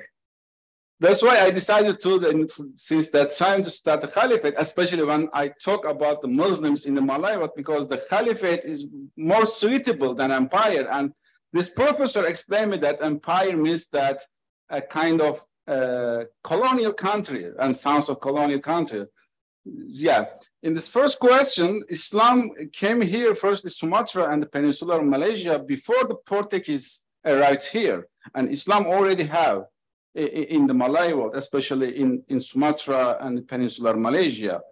Uh, but when Portuguese uh, came here, the rest of the Malay world, I mean, especially the east part of the Malay world, and Farid Alatas has also an article about this issue, Islam not yet reached this, uh, east part of here. But from the 13th and 14th century, Islam already accepted by the sultanates and their independent sultanates, especially in Sumatra, like Pasai. Then the British, when British arrived here in 17th century as a company, Islam completely accepted in the archipelago. Uh, okay, I think that um, okay. You got vetoed, proper letters. Go ahead, please. Yeah. Yeah, um, just a few few issues. Um, did, did gunpowder technology was it first introduced by the Ottomans to the Malay world? So the the, the cannons. When you say they introduced cannons, yes, gunpowder uh, technology. Yes, uh, because when we look at uh, the the letter of Sultan of Aceh, he especially requested some gunpowder technology from the Ottomans because he explained that we don't have this technology, even though the enemy has already this technology. And we don't know the primary source which was prepared from the Ottomans about this two uh, military transfer. But when we look at uh, some paper, especially written in the 19th century, there are the, this information uh, explained and the Ottomans sent just not gunpowder, also they sent some experts who can do big walls uh, for the sultanates, and they sent some uh, military engineers and gunpowder. Yeah. And also there are, I think now, uh, Turkish uh, graveyards in Banda Aceh. They believe that yeah. they, they're from this time, but I don't. Okay. Uh, so I wanted to just say one thing about the gunpowder. Uh, well, gunpowder uh, as a technology was introduced uh, before the Ottomans' connection with with here. I think in uh, 14th century, probably I know, in Java, gunpowder technology was used. But uh, what the, the Acehnese wanted from Ottoman Empire is that uh, uh, the technology uh, that uh, cannon, because uh, smaller uh, cannons uh, can be found here, but the more uh, the powerful cannons that the Acehnese wanted from the Ottoman Empire as well. And also behind this request, we can also, we have to think that because the Acehnese uh, tried to expel the Portuguese from the region. So they wanted to uh, help all the Ottoman Empire as the uh, big power at that time. And uh, also uh, in the Arabian uh, shores and Indian shores, there were very big rivalry between the Portuguese and Ottoman Empire, trying to control the trade. So uh, especially international trade is going uh, through uh, this sea trade. So the, all these trade were controlled later on by the European powers. But when I checked some Spanish sources which were written in the 16th century, the Spanish sources also wrote that the Ottomans teach and sent some replies uh, rifles and, yeah. yeah yeah yeah rifles uh, which were sent to Ottomans and they start to teach the locals, especially from Inacha, uh, apart from big cannons. Yeah, I mean, uh, there are uh, Ottoman types of uh, rifles and the Ottoman types of uh, cannons. Yeah. So, I mean, the in the pictures you have shown, they were produced in Banda Aceh, but they are Ottoman types of cannons because uh, Sultan Süleyman sent eight experts, military experts, to Aceh before the Selim the second. So they established the cannon factory in Banda Aceh. So later on, they came, they wanted more experts For instance, in different sectors, during the Selim II, uh, experts were sent by Sultan Selim II, and because of the revolt in the Yemen, so the military uh, assistants and the experts were sent with small uh, ships uh, to region. So yeah, that's why I couldn't mm -hmm. give this kind of information due to the limitation of my 30 minutes. I think yeah. there is one more, right, Murat? No, I, I didn't. I didn't finish it. Ah. Uh, okay, I have many questions, but I just ask one more. Okay. Maybe this is to me the most important. Everyone knows about the, the role of the Ottomans in pan-Islamic movement in spreading Islamic ideas, reform, right? Um, but what what I, I I'm not sure about is what were those ideas? Because, for example, in, in the Malay world, we know during that time the, the views of Jamaluddin Afghani and Muhammad Abduh, uh, Rashid Rida were popular and they were spread, right? But who were the Ottoman thinkers um, in that period whose ideas were spreading in our region? As far as I know, uh, when Sultan Abdulhamid II started to implement this policy, Jamaluddin al-Afghani visited him and he shaped and he influenced Sultan Abdulhamid II to apply and implement this policy in around the world. But I think there is no any Turkish scholar uh, who affect and influenced the Sultan Abdulhamid II. Am I right? I don't know, maybe Professor Kadir knows better than me.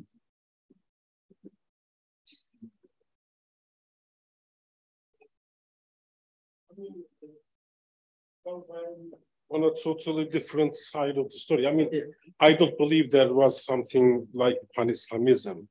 That was uh, something new in the 19th century. I mean, uh, I'm very suspicious about this uh, conceptualization uh, because it is the terminology of uh, the colonialist uh, discourse. Uh, without uh, deconstructing the terminology, we can't deconstruct the entire discourse. that's why I always try to avoid the use of pan-Islamism. As far as I know, I mean, as a you know Muslim, I, I, was brought up as a Muslim. Muslim Brotherhood or soft power no, I mean, it is not about politics or international relations.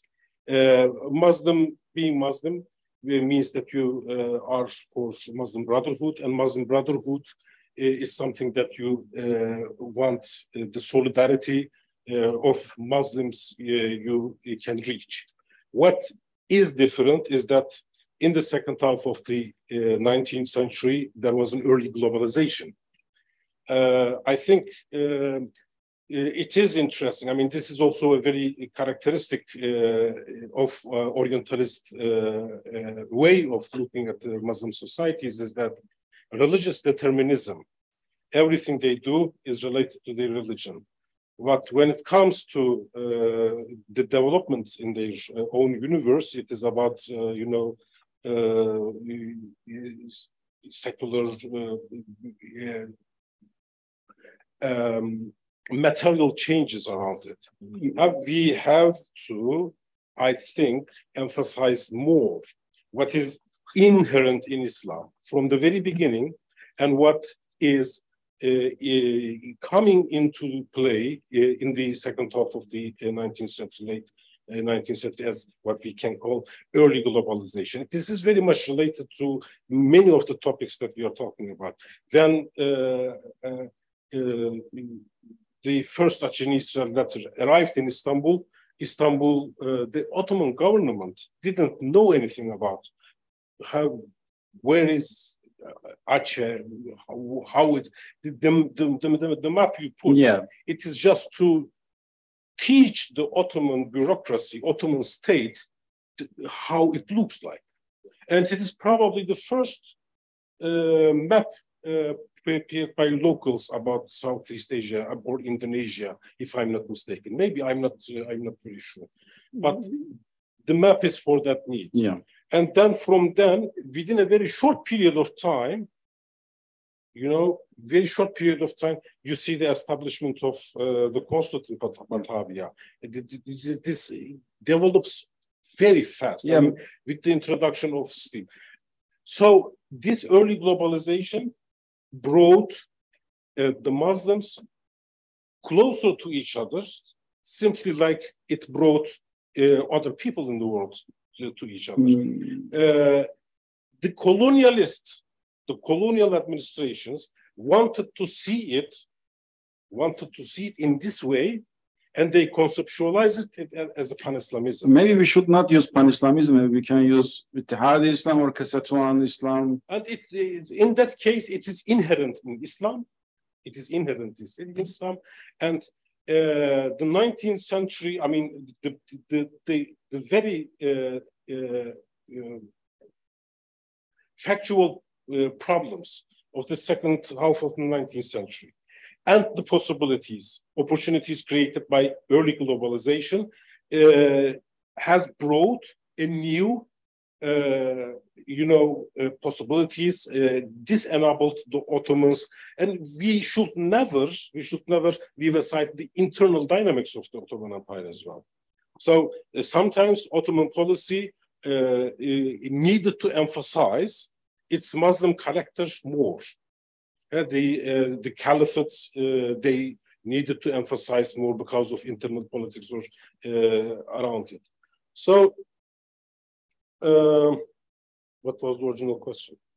no, it was actually actually was uh, it was my i'm very sorry my... because okay. if i let everyone ask question then everybody wants to ask question. I'm sorry but there is a rule. You would be the last person to ask a question. Please make it short. Sorry about it. Thank you Thank you so much. And yeah, uh, just a, a, a, short, a short question. But before before that, uh, I, I would like to brief about my study before I go directly to my questions. Uh, I'm study. I'm looking for uh, the trace of uh, motif of Ottoman art in architecture, Muslim architecture in Bangkok. Actually, I will I will talk about it tomorrow. Uh, but I, think it's a good chance to discuss with you because uh, you are uh, you you are talking in this topic. Uh, so um, the more uh, the, the, the two main motifs that we found in mosques and in mosques in Bangkok, we found Ottoman coat of arms and Ottoman, uh, Ottoman coat of arms, coat Osmanlı arması. Uh-huh. And the second is Tughra, the, uh, the Ottoman Sultan insignia. Uh, so I wonder that how they how how this motif came so far from Ottoman from to, to Bangkok. Okay, we did have a royal visit of Prince Damrong, but uh, another another evidence is that uh, I found a copy of uh, the man in Bangkok. Uh, he is the director of uh, the, a school named uh, Madrasatul Islam. Uh, his name is Sayyid Ibrahim. The letter was sent to uh, was sent to Batavia Ottoman consulate in, in 1899 to ask for the Sultan uh, a financial support to establish a madrasa in Bangkok. And this, this man, the Sayyid Ibrahim, also requests from, from the Ottoman Empire an amount of a Quran to distribute to other, other religious school in Bangkok. So my question is go to that, do you have any records that uh, that set of Quran did have been sent to Bangkok or not. And the second, uh, if it is the subject of the Sultan, it, I mean, it came from the Ottoman Empire, uh, on the on the page of the Quran, it, it might possibly be a kind of uh, the emblem of the Ottoman coat of arms or the signature of the of Sultan on it, because I guess that perhaps because this Quran was distributed all through Bangkok. So Muslim in Bangkok had seen this this uh, symbol and copy it as a decorative on their mosque. But uh, like I, uh, we have just only this letter, but I need a solid or concrete evidence to support this idea. Uh, I just asked uh, the old man of the community is in the district of Bangkok Noi. Bangkok Noi is the place that we have a record that this set of Quran from the Ottoman Empire uh, has uh, has been first arrived at, at this uh, district, and from this district they was distributed into into other religious schools. But unfortunately, there is no concrete evidence because of the World War II, the mosque and and uh, the surrounding of the community has ruined and destroyed. So if there's supposed to be any Quran from the Ottoman Empire, it was burned. so this is the problem. So my my two questions: Did it did this Quran set did arrive Bangkok or not? And the second, on the on the Quran, is there any? It should be any emblem of the Sunan or Ottoman coat of arms. Thank you so much. Uh, as far as I know, the Ottomans sent Quran to Java. When we look at one of the Ali Ghalib's reports, he requested that uh, many, many Qurans needed in Java, especially the, the Quran should be written by Qadi uh, Hattat Shakir Zadeh and Hattat, one of more Hattat. And he gives some example, this kind of Hattat is more suitable to local people who can read this Quran. But I don't know the Ottoman did send any Quran specifically to Thailand, but maybe it was transferred from Java to uh, Thailand or, or Patani. Uh, it's, it's possible, but we are sure that the Ottomans sent with the Ottoman insignia some Quran symbols to Java, and some of examples also were found somewhere in Java. Yeah, South Africa as well. South Africa and Java.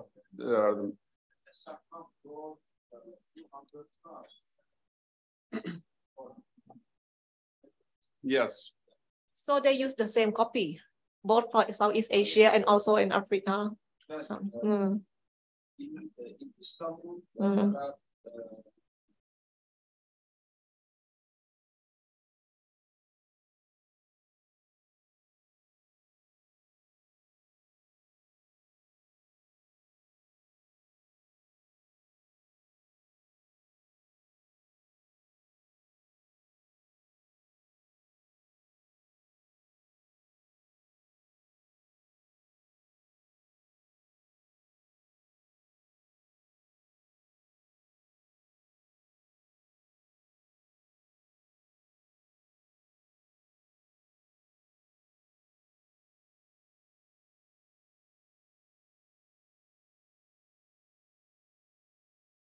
Uh,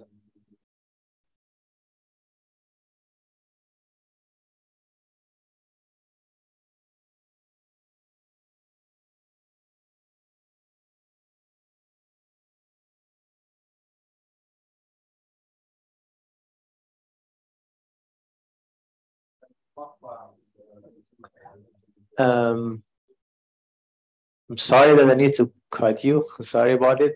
Um, I, we received more statement than a question for this round.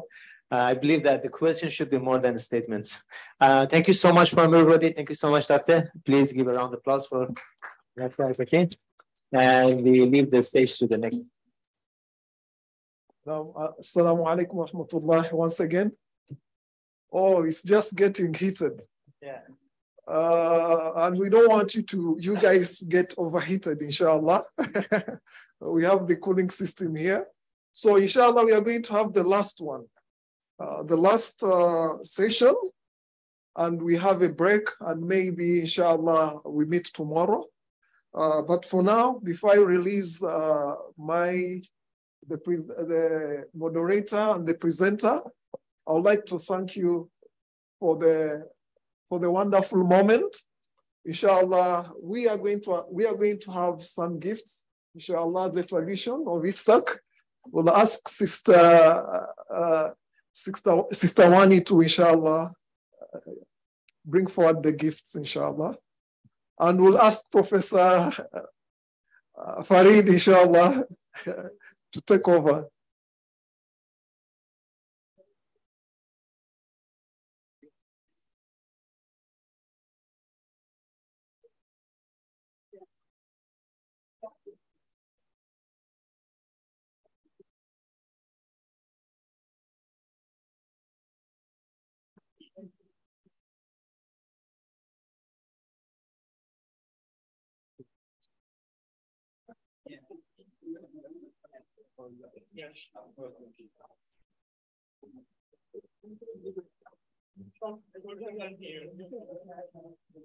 Uh, thank you so much.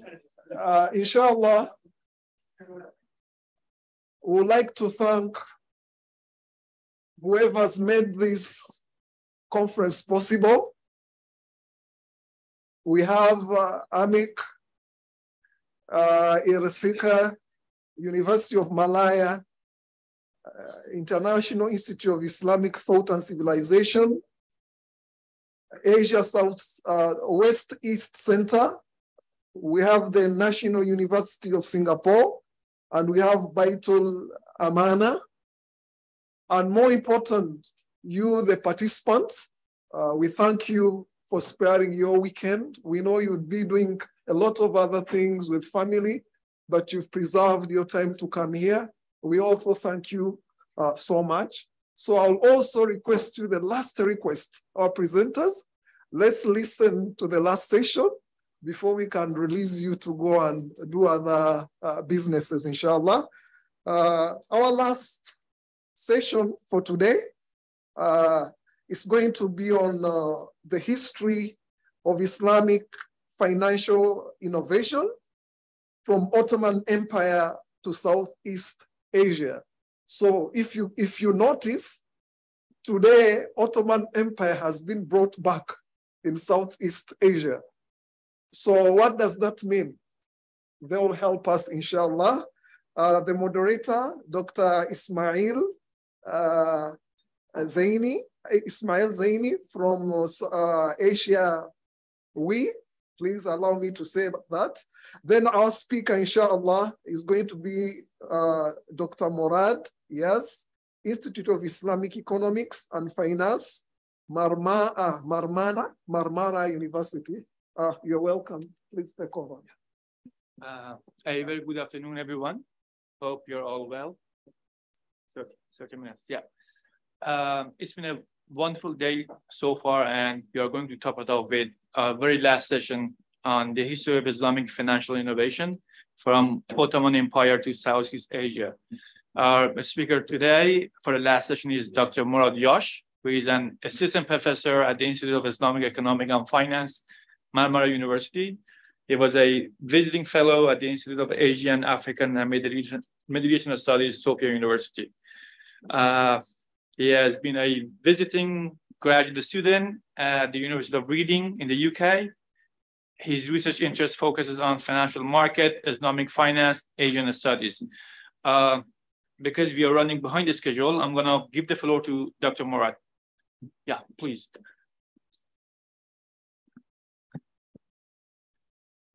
Dear distinguished guests, Assalamu alaikum. Uh, I know this is the last presentation, everybody is tired, so I will try to make it uh, as short as possible, but not super short. Uh, at least uh, this is a topic that maybe you can make money, so uh, you can you can benefit from history to make money. Uh, I just seen a news yesterday that Malaysian government gave a special budget to INCEIF University for an innovation in Islamic economics. So just for that purpose, they give uh, 20 million ringgit, so around four or five million dollar.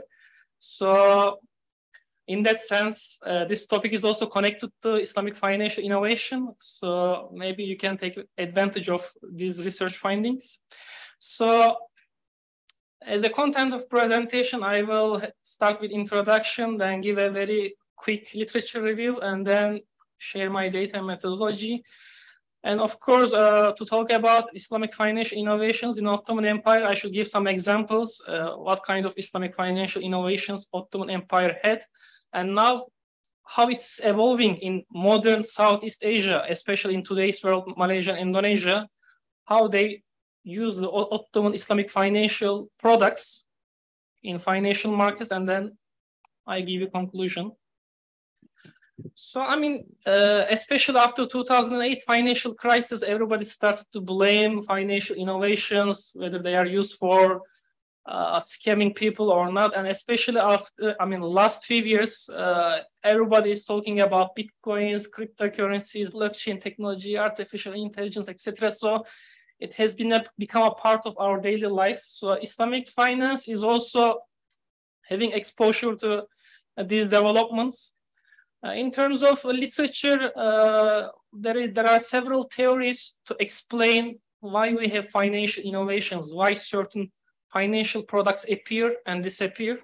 So evolutionary theories, life cycle theory, economic theories, and institutional theories are some of them. So the lack of single theory also implies that the issue of financial innovations is complex. So there is not just a single explanation why we have a financial innovation. So, mean, how did I decide to choose this topic? That was something interesting for me that the Minister of Finance in Indonesia recently uh, has been awarded with the impactful achievement prize of the Islamic Development Bank. And the product that got this prize was a cash wakaf linked sukuk. So cash wakaf originally goes back to 15th century of Ottoman Empire, that the Islamic financial innovation uh, that occurred in Ottoman Empire 15th century. So I decided to like um, find it like uh, more evidence that these kind of evolutions of Islamic financial institution continue or not. So that is how I uh, got into this topic. So why Ottoman Empire and Southeast Asia? Uh, the normally like the modern Islamic finance developed especially after 1980s and uh, the most of these products and theories were like uh, comparing the early Islamic years and today's modern financial markets. So like there was nothing between uh, between like a seventh century and like a 21st century like the like there is like a huge gap of thousands of years like a uh, that that was how uh, many Muslim countries were approaching this topic. But in here, I claim like the actual development of Islamic finance continues. There is no gap and it's evolutionary. So why I choose Ottoman Empire and Southeast Asia? The Ottoman Empire was the most developed financial market in its time. And in today's world, the Southeast Asia, Malaysia, and Indonesia especially are the leaders of Islamic finance. And I just shared a very recent report by the United Nations and Islamic Development Bank regarding innovation Islamic finance, just focusing on Malaysia and Indonesia. And these are like Islamic finance development indices and Malaysia and Indonesia number one. So, so these two, uh, like Ottoman Empire, Southeast Asia can be connected in that sense. So that is how I searching evidence. So theory of financial innovations, there are so many theories, so many explanations, but in this uh, study, I'm focusing on evolutionary theory and natural selection. So under evolutionary theory, also there are so many different sub-theories. So the natural selection, as you seen in your biology class, like the strong species, they survive, they adapt to conditions, and the weak ones disappear, right? So similar uh, uh, phenomenon happens also in the financial markets. Stronger products survive. They make adaptations uh, based on the circumstances, and the weak ones they disappear. So the modern literature of Islamic finance uh, they try to came up with some uh, theories, but uh, actually the literature is so limited. And there are also some theories similar to conventional uh, financial innovation theories, but the literature, in short, I can say it's very limited. Like there is not much study on this issue. Uh, and methodology, so I am using the historical case studies, uh, basically, to provide evidence for the evolutionary theory of uh, uh, financial innovation. So in here, I provide two uh, case studies from Ottoman Empire, Esham and Kesh from 18th century and 15th century, and how these products evolved to, from Esham to Sukuk, and from Kesh to Kesh Vakıf linked banking practices such as uh, Microbank in 2017 in Indonesia, and My Vakıf uh, practice in Malaysia, uh, 2019, another product called Cash Waqf Link Sukuk uh, in Indonesia, uh, 2020. So I will try to uh, show how these products are evolved. And of course, uh, first, like uh, to, to claim that a product is specific for Ottoman Empire, it should be also evolved from something else, right? So it is a continuous innovation. So Uh, from the time of Prophet, it started with the jizyas, haraj, and ushur, and then the, especially in terms of uh, evolution of Islamic public finance, it continued with Ikta uh, in Ottoman Empire, Iltizam, and from Iltizam to Malikane, they innovated. So the, the, the reason for that innovation was uh, the Iltizam was for short-term financing, like a three, four-year maturity, and it was not enough to finance wars. So government needed longer maturity for that product and they came up with another one. And Esham uh, was also a result of another innovation that government managed the income. Uh, previously, the Malikane system, the, the Malikane uh, owner was uh, entrepreneur, but in the Esham system, there is no entrepreneur. The government is distributing the return. So how the system works, uh, just I show in a like simple di diagram. So originator, the Ottoman Empire, they transfer the cash, I mean, the, the re return generating, income generating assets to treasury, and then uh, they issue Esham certificates. Esham uh, is coming from Sehim, it means share.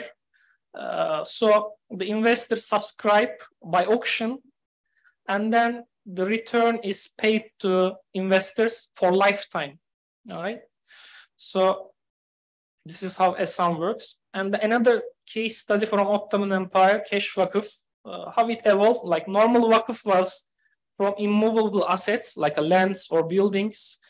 So, so Ottoman Empire, they had a, like a unique financial markets that Islamic financial, there was very limited Islamic financing institutions and there was a need for alternative institution to banking. Uh, and also there were high interests and loan sharks in certain period of time. And Ottoman had like a kind of socialism, kind of welfare mechanisms, like uh, less in income inequality. So this gave birth to cash wakaf. So the wakaf uh, has cash money as capital, and they use this capital for investment to, to make more money for wakaf activities, for philanthropic activities. So first, of course, it started with endowment with the capital of cash, and then uh, this money used for investment. There are certain products, of, of course, uh, that this cash wakaf use for financing. Uh, so in here, it's just an example like the borrower sell the asset and get the cash and then lease back and then pay some rents to cash wakaf and then it then capital is return after they make the principal payments. So uh, like it is a wakaf, a foundation based on cash. Uh, the cash used for investment to make additional return and the return is used for uh, activities, these philanthropic activities. All right, this is the system. So, so how these uh, products evolved into different products in modern Southeast Asia. Now, Malaysia, Indonesia are can be considered as leader countries in Islamic finance and, and how they took advantage of the Ottoman experience. So the sukuk maybe it's a, a, bit kind of controversial case to claim whether it evolved from Esham or not. Uh, the, the professor Murat Çizakça says it's actually a kind of co coincidence that they are so similar. Maybe the, even the Malaysian uh, Malaysians didn't notice that it's so looking so similar to it's Ottoman Esham, but uh, he claims it's originally uh, coming from Esham to Sukuk. So in here also the cash, I mean, income generating assets are transferred to a special purpose vehicle. And then investors subscribe those uh, certificates and then uh, this income generating assets returns are distributed to the investors. So it is uh, similar to Sukuk. Uh, but in the case of Esham, it was a tax return. Uh, in here, it's different kinds of uh, return. It can be leasing, it can be sale, it can be partnership, equity. So uh, different kinds of uh, asset generation and income generation is possible. So second case study is evolution from cash wakaf to cash wakaf linked banking practice. So this is one example from Indonesia. So the donations are coming to Laznas, this uh, Zakah uh, National Board of uh, Indonesia, and then with that donations, they create a bank. All right, with the donations with uh, of the Wakuf, they create a bank. It's called Bank Vakıf Micro. So it is kind of microfinancing uh, as a bank, but using uh, Vakıf cash. So it is kind of cash Vakıf mixed with a bank practices. So they are microfinancing poor people uh, with cash Vakıf. And the return is distributed to the bank, and then they use this return uh, for the charity activities or uh, they are financing with lower rates or empowering poor people. All right. So this is one way of evolution of uh, cash vakuf. Another evolution is uh, from Malaysia again. Uh, recently, Malaysia started a value-based uh, intermediation uh, practices, and in here, uh, in the uh, initial stage, six banks agreed to join this program, my MyVakif program. At the moment, uh, eight banks in Malaysia join this program. Uh, RHB, Bank Muamalat, Bank Islam, Maybank, Bank Rakyat, Affin, Islamic, and now I think CIMB and another bank joined to this program as well. So basically, uh, many states in Malaysia uh, uh, and uh, the, the, the, Islamic authorities, they come up with some projects, like some kind of Islamic projects. For example, in here, they have a housing project from the Penang. And these donations are done by the, the depositors of the bank or any account holders. You can make donation, but of course, to reach the the campaign uh, level, uh, it can take time. It can take several months or even a year to reach the target. So meanwhile, uh, in a special Vakıf fund account, these donated monies are invested to make additional money until uh, they can reach the target amount. And then after they reach the target, they finance the project. So uh, in here, they use cash vakıf uh, people donate money to a certain purpose and then they make money from that until they reach target. This is like a temporary vakıf until they reach target. This vakıf is closed. Uh, so this is another example from Malaysia. And the last example, uh, this one received the, the prize from Islamic Development Bank. Uh, they give $100,000, I think, as price uh, for this kind of uh, achievements, impactful achievements. Uh, cash vakıf link sukuk, there are temporary vakıf and perpetual vakıfs. So their cash are transferred to an agent under LKS PWU. So these are Sharia cash vakıf receiving financial institutions and non-LKS PWU. And then BWI is the National Wakuf Board of Indonesia. So on behalf of these wakufs, he's becoming an agent and he is investing all these cash from wakuf to a sukuk. And this sukuk is used for financing public uh, infrastructure projects and the return is paid back to the agent. The, an agent uses these returns for philanthropic activities again. So these are all uh, case studies uh, that shows how uh, the Ottoman Empire's financial innovations continue and evolve in today's world. And more case studies we provide, it is more evidence we give to show that this evolutionary theory of financial innovation is valid from the perspective of Islamic finance as well. So briefly, uh, this study provides evidence for evolutionary of financial innovation from history of Islamic finance in Muslim world, particularly from Ottoman Empire and modern Malaysia and South Indonesia. Islamic financial products in Malaysia Empire still influence the financial products, including prominent players of Islamic finance industry, in Malaysia and Indonesia. And this study has a limitation that it's overlooking how financial products in European history affected Islamic financial innovations in Ottoman Empire. Because even today's world, the conventional finance affects the Islamic finance. And it's also possible that these Ottoman products has been influenced by uh, European financial products, especially the direct claims that the Esham has been influenced by the Spanish juro uh, to finance war against Andalus. The Spanish uh, come up with juros uh, a juro is the name of the financial product, a perpetual bond to finance war. So some claim this Esham is, is similar and uh, influence from this uh, from the Spain. So this study is overlooking that. Thank you very much for listening.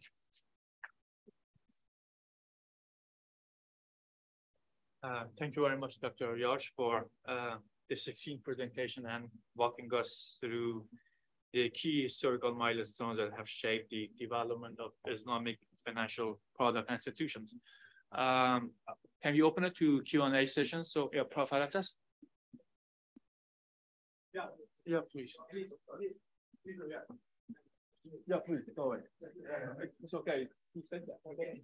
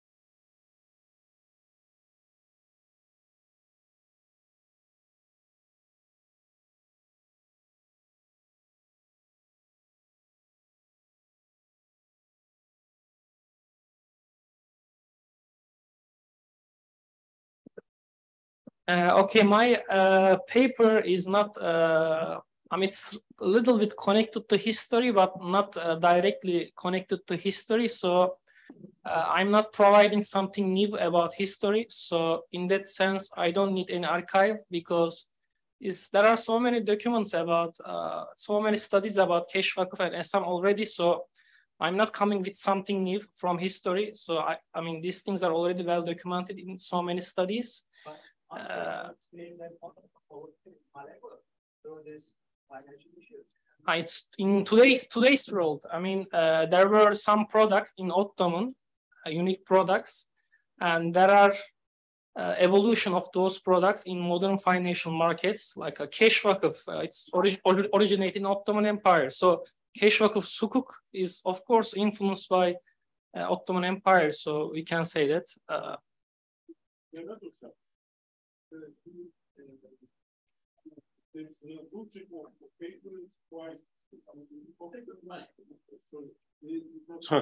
I mean, uh, there are uh, there were some uh, important uh, Ottoman innovations in this uh, finance sector. One is Malikane, uh, and the the, the cash as it is, uh, you know, uh, implemented. It is probably uh, in the Islamic world, it is the first example, I guess, Ottoman cashbacks. Yes, uh, yeah. there are so many discussions in Ottoman Empire. I mean, I mean the dis discussions we know, before it know, emerged. Yeah, we, we, we do understand it, yeah. but uh, the first implementation of cashbacks uh, are the Ottoman Yes. Empire, right? So these are within within the history of within Islamic finance history. These are uh, really important uh, turning points, uh, if you see. So how it has impact on the modern development of you know Islamic financial institutions is is, is another uh, uh, issue, and I think uh, this Murat uh, is doing quite a lot on this uh, in, in in this. session. But my point, or my question is, wh- where does Islamic begin and end in this entire uh, finance uh, history uh, narrative? I mean, uh, this cash wakf. The name is cash wakf, but it is very, very, uh, you know, çok zayıf bir görüş üzerine inşa edilmiş bir pratik nihayetinde. Ha? Within the Islamic legal approach, it is a very uh, un uh, how, how do you say zayıf weak weak yes. Uh, you know uh, then the question is where does islamic uh, begin and end? I mean if a muslim do anything is it automatically islamic? Or is it like that uh, if it is done by the ottomans or uh, I, I didn't get the exact question, or I mean, what, what is the question exactly? Uh, I mean, cash wakf is weak, yes. Uh, Yes, but uh, I mean, uh, my my point is in this entire story, when we talk about uh, uh, Islamic finance, uh, where do you put the uh, borders? What do you count as Islamic, and uh, what do you count as un-Islamic in this financial practices? This uh, uh, is because, as I said, I mean, uh, cash wakf issue is very, very controversial, very, very weak position. Even uh, if you even count that one within the scope of it, uh, uh, I think uh, the public has the right to uh, suspect it. Yeah, uh, actually, there is discussion in the literature about, I mean, elasticity of uh, the the Sharia regarding the innovations in Islamic finance. Like there is all there is uh, regarding this literature of Islamic financial innovation. There are two kinds of discussion. One one aspect is focusing on the Sharia ruling, like how much it is flexible for innovation. Another aspect is the modern I mean modern side of like a scientific part of it, like the, the mathematic part or financial engineering part or uh, the conventional side of it, in other words. So regarding sh- sh- Sharia aspect, of course, uh, many uh, Islamic financial products uh, can still have some debates whether they are really Islamic or not. Uh, not not just for this cash wakf. Uh, there are so many products uh, that have more fierce debate than cash wakf, that are more controversial than cash uh, uh, but still practiced by many Muslim countries. So it is really depending on the regulatory bodies and the central Sharia boards uh, that countries have. It is all about their rulings. Sometimes countries becoming more strict about Sharia rulings. Sometimes they are more flexible. Uh, so it is really depending on those people in the boards and the countries. Uh, regarding this case, uh, it seems Malaysia, Indonesia, the authorities are fine with those practices. So that is why they are allowing and using these uh, products. And also, I know uh, maybe I should also highlight that in the conclusion, uh, I should I should maybe say that like it's all it's these evolutions are just coming from Ottoman, but it's actually uh, also coming from conventional finance. It can be coming from other countries as well, from similar practices. So there, there are so many determinants for these financial innovation, but Ottoman is just partially explain uh, those products.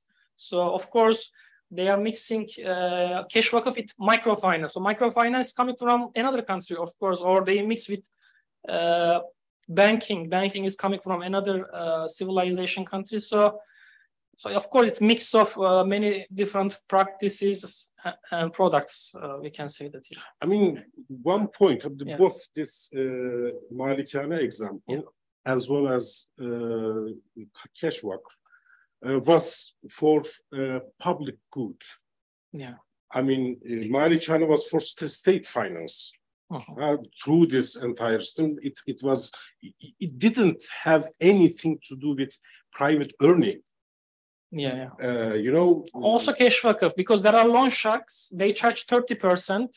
So cash vakıf charge 10%. So government said, okay, let's do this, for Uh, example. I- and it, it was, uh, uh, I mean, the expectation is that it is spent on, uh, you know, well, uh, keeping the mosques, uh, you know, for public services. But uh, today, the issue is uh, more about uh, private earnings.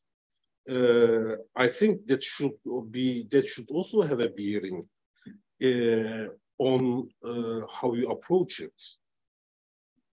So, do you understand? I mean, Private earnings? yeah, I mean, it should be profit oriented. Yes. Yeah, yeah. uh-huh. Yeah, that's true. Like Ottoman is kind of socialist, uh, having social practices, and uh, free market is not very available. And maybe this is one of the reasons for the economic fall down of the Ottoman Yes. Empire. Excuse me, could you continue the discussion after because we Oh, need to get done? one more question. Yeah, Okay. we are almost. I'm sorry. Can, can we can we get Professor? Okay, so I'm sorry. Yeah, uh, I have a few questions, but I think there's no time. Um, so on this issue of uh, what do you call it, um, profit, right? So you, I, I'd like you to explain a little bit more about what you mean by Ottoman system being proto pseudo Ottoman socialism. Uh-huh. Um, I mean, the system was definitely profit oriented. The whole idea of tax farming was to provide, uh, what do you call it, uh, income um, for um, for bureaucrats um, and for the state, right? Um, and and these were actually, I think, Iqta, Iqta, for example, goes back to to Mongol uh, practices and were adopted by uh, by Arabs and and Ottomans later on. Um, but I think it's an interesting point you make about pseudo proto. Yeah, yeah. Actually, this is uh, also, uh, I mean, written by Murat Çizakça. He's also uh, writing this. Uh, I mean, there are reasons why uh, Ottoman Empire like didn't uh, allow too much free market practices. Like, like some kind of discussion in the literature is that they don't want like, like a kind of uh, rich uh, uh, like uh, capitalist rivals to the empire. Like if they are financially rich, uh, they can be kind of a threat to the empire if they are too powerful. Sorry, Murat, when, when, when you say that, Mhm. um, you, you, you need to specify which period. Because Uh-huh. if, if you're talking about the 15th century or the 16th century, Yeah. no, nobody was, and no one was, even in Europe, they were not encouraging free market Uh-huh. enterprise. If you're talking about the 19th century, that's another, another Uh-huh. matter. So you need to specify that, Uh-huh. which period you're talking about. I mean, it would not be Uh-huh. unreasonable for the Ottomans to restrict free market in the 16th century because everyone was restricting free market. Uh-huh. I mean, uh, I cannot, I'm, I'm not expert in history, so maybe the historians can talk about which century, but from my understanding in general, Ottoman was like that, like um, not for a certain century, but in general, uh, they were like that, like that, that is, Uh, well, I mean, Professor Alatas, uh, you know, says uh, uh, things that provokes some questions in my mind that I never asked about uh, because I was uh, looking from a very different paradigm. Uh, this is the second uh, of today. This profit motivation. I mean, you say that this tax farming was to provide, you know, the private profit. And the the way it worked in the Ottoman Empire was it uh, was like the state uh, relied on the profit uh, motivation of individuals to uh, get as much as possible from the financials, uh, from, from the taxes. That is, of course, the, the, uh, it was the search for uh, profit that made the system work. But uh, in the literature on tax farming, uh, the fact that the uh, you know it was a uh, a way of favoring uh, individuals and classes that was to be favored by the ruling elite uh, is not that much present in this uh, Ottoman story. as I said, through this uh, making use of this profit uh, uh, motivation, they get as much as possible uh, from the tax base. That was the entire uh, idea, both in iltizam, uh, conventional iltizam, as well as in uh, Malikana. this is pretty much the story. I mean, there is also another discussion, for example, that like uh, some historians claim, I'm, this is not my expertise, but uh, they claim there are so many foundations, Wakaf in Ottoman Empire, because it is a, one of the way of keeping wealth for rich people. Uh, otherwise, that government maybe took over their wealth. So when they donate that money to a Wakaf, it can be even a family Wakaf, uh, they can still they preserve their wealth. So that might be another reason why there are so many wakuf in Ottoman. So there are also these kind of discussions in literature. Uh, yeah. Yeah, thank you. Uh, thank you very much, Dr. Yosh. Uh, I am told to end the session. And can you please give it up for Dr. Yosh? Then, thank you very much. Uh, Alhamdulillah, uh, we've reached the end of day one of the two-day international conference on the Ottomans and the Malay world. So before I can let you go and we, we close the session, I would ask uh, uh, Dr. Abdul Raz, uh, Alami is not here? Then uh, Prof. Farid, inshallah, uh, you will give the last sets of uh, our tokens of appreciation to our moderator and our speaker, inshallah. You're welcome, sister. Yeah, the moderator. the speakers.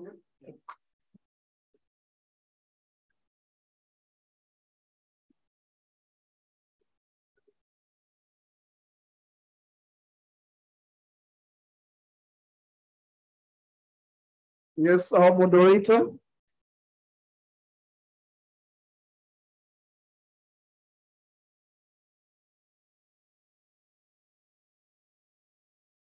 Uh, members, uh, thank you so much. Uh, the only thing remaining uh, is praying to Allah subhanahu wa ta'ala to reward all our efforts since morning up to now with a lot of ajr in this dunya and yawmul akhirah. And we pray to Allah subhanahu wa ta'ala to reward our efforts to translate uh, into betterment of this ummah in future, inshallah. Wal asr, in al-insana lafi khusr, illa alladhina amanu wa amilu salihat, wa tawasaw bil haqq, wa tawasaw bil sabr. Assalamu alaykum wa rahmatullah wa barakallahu.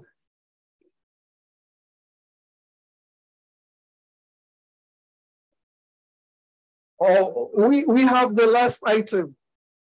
There is a we the, the tea break is waiting upstairs, inshallah.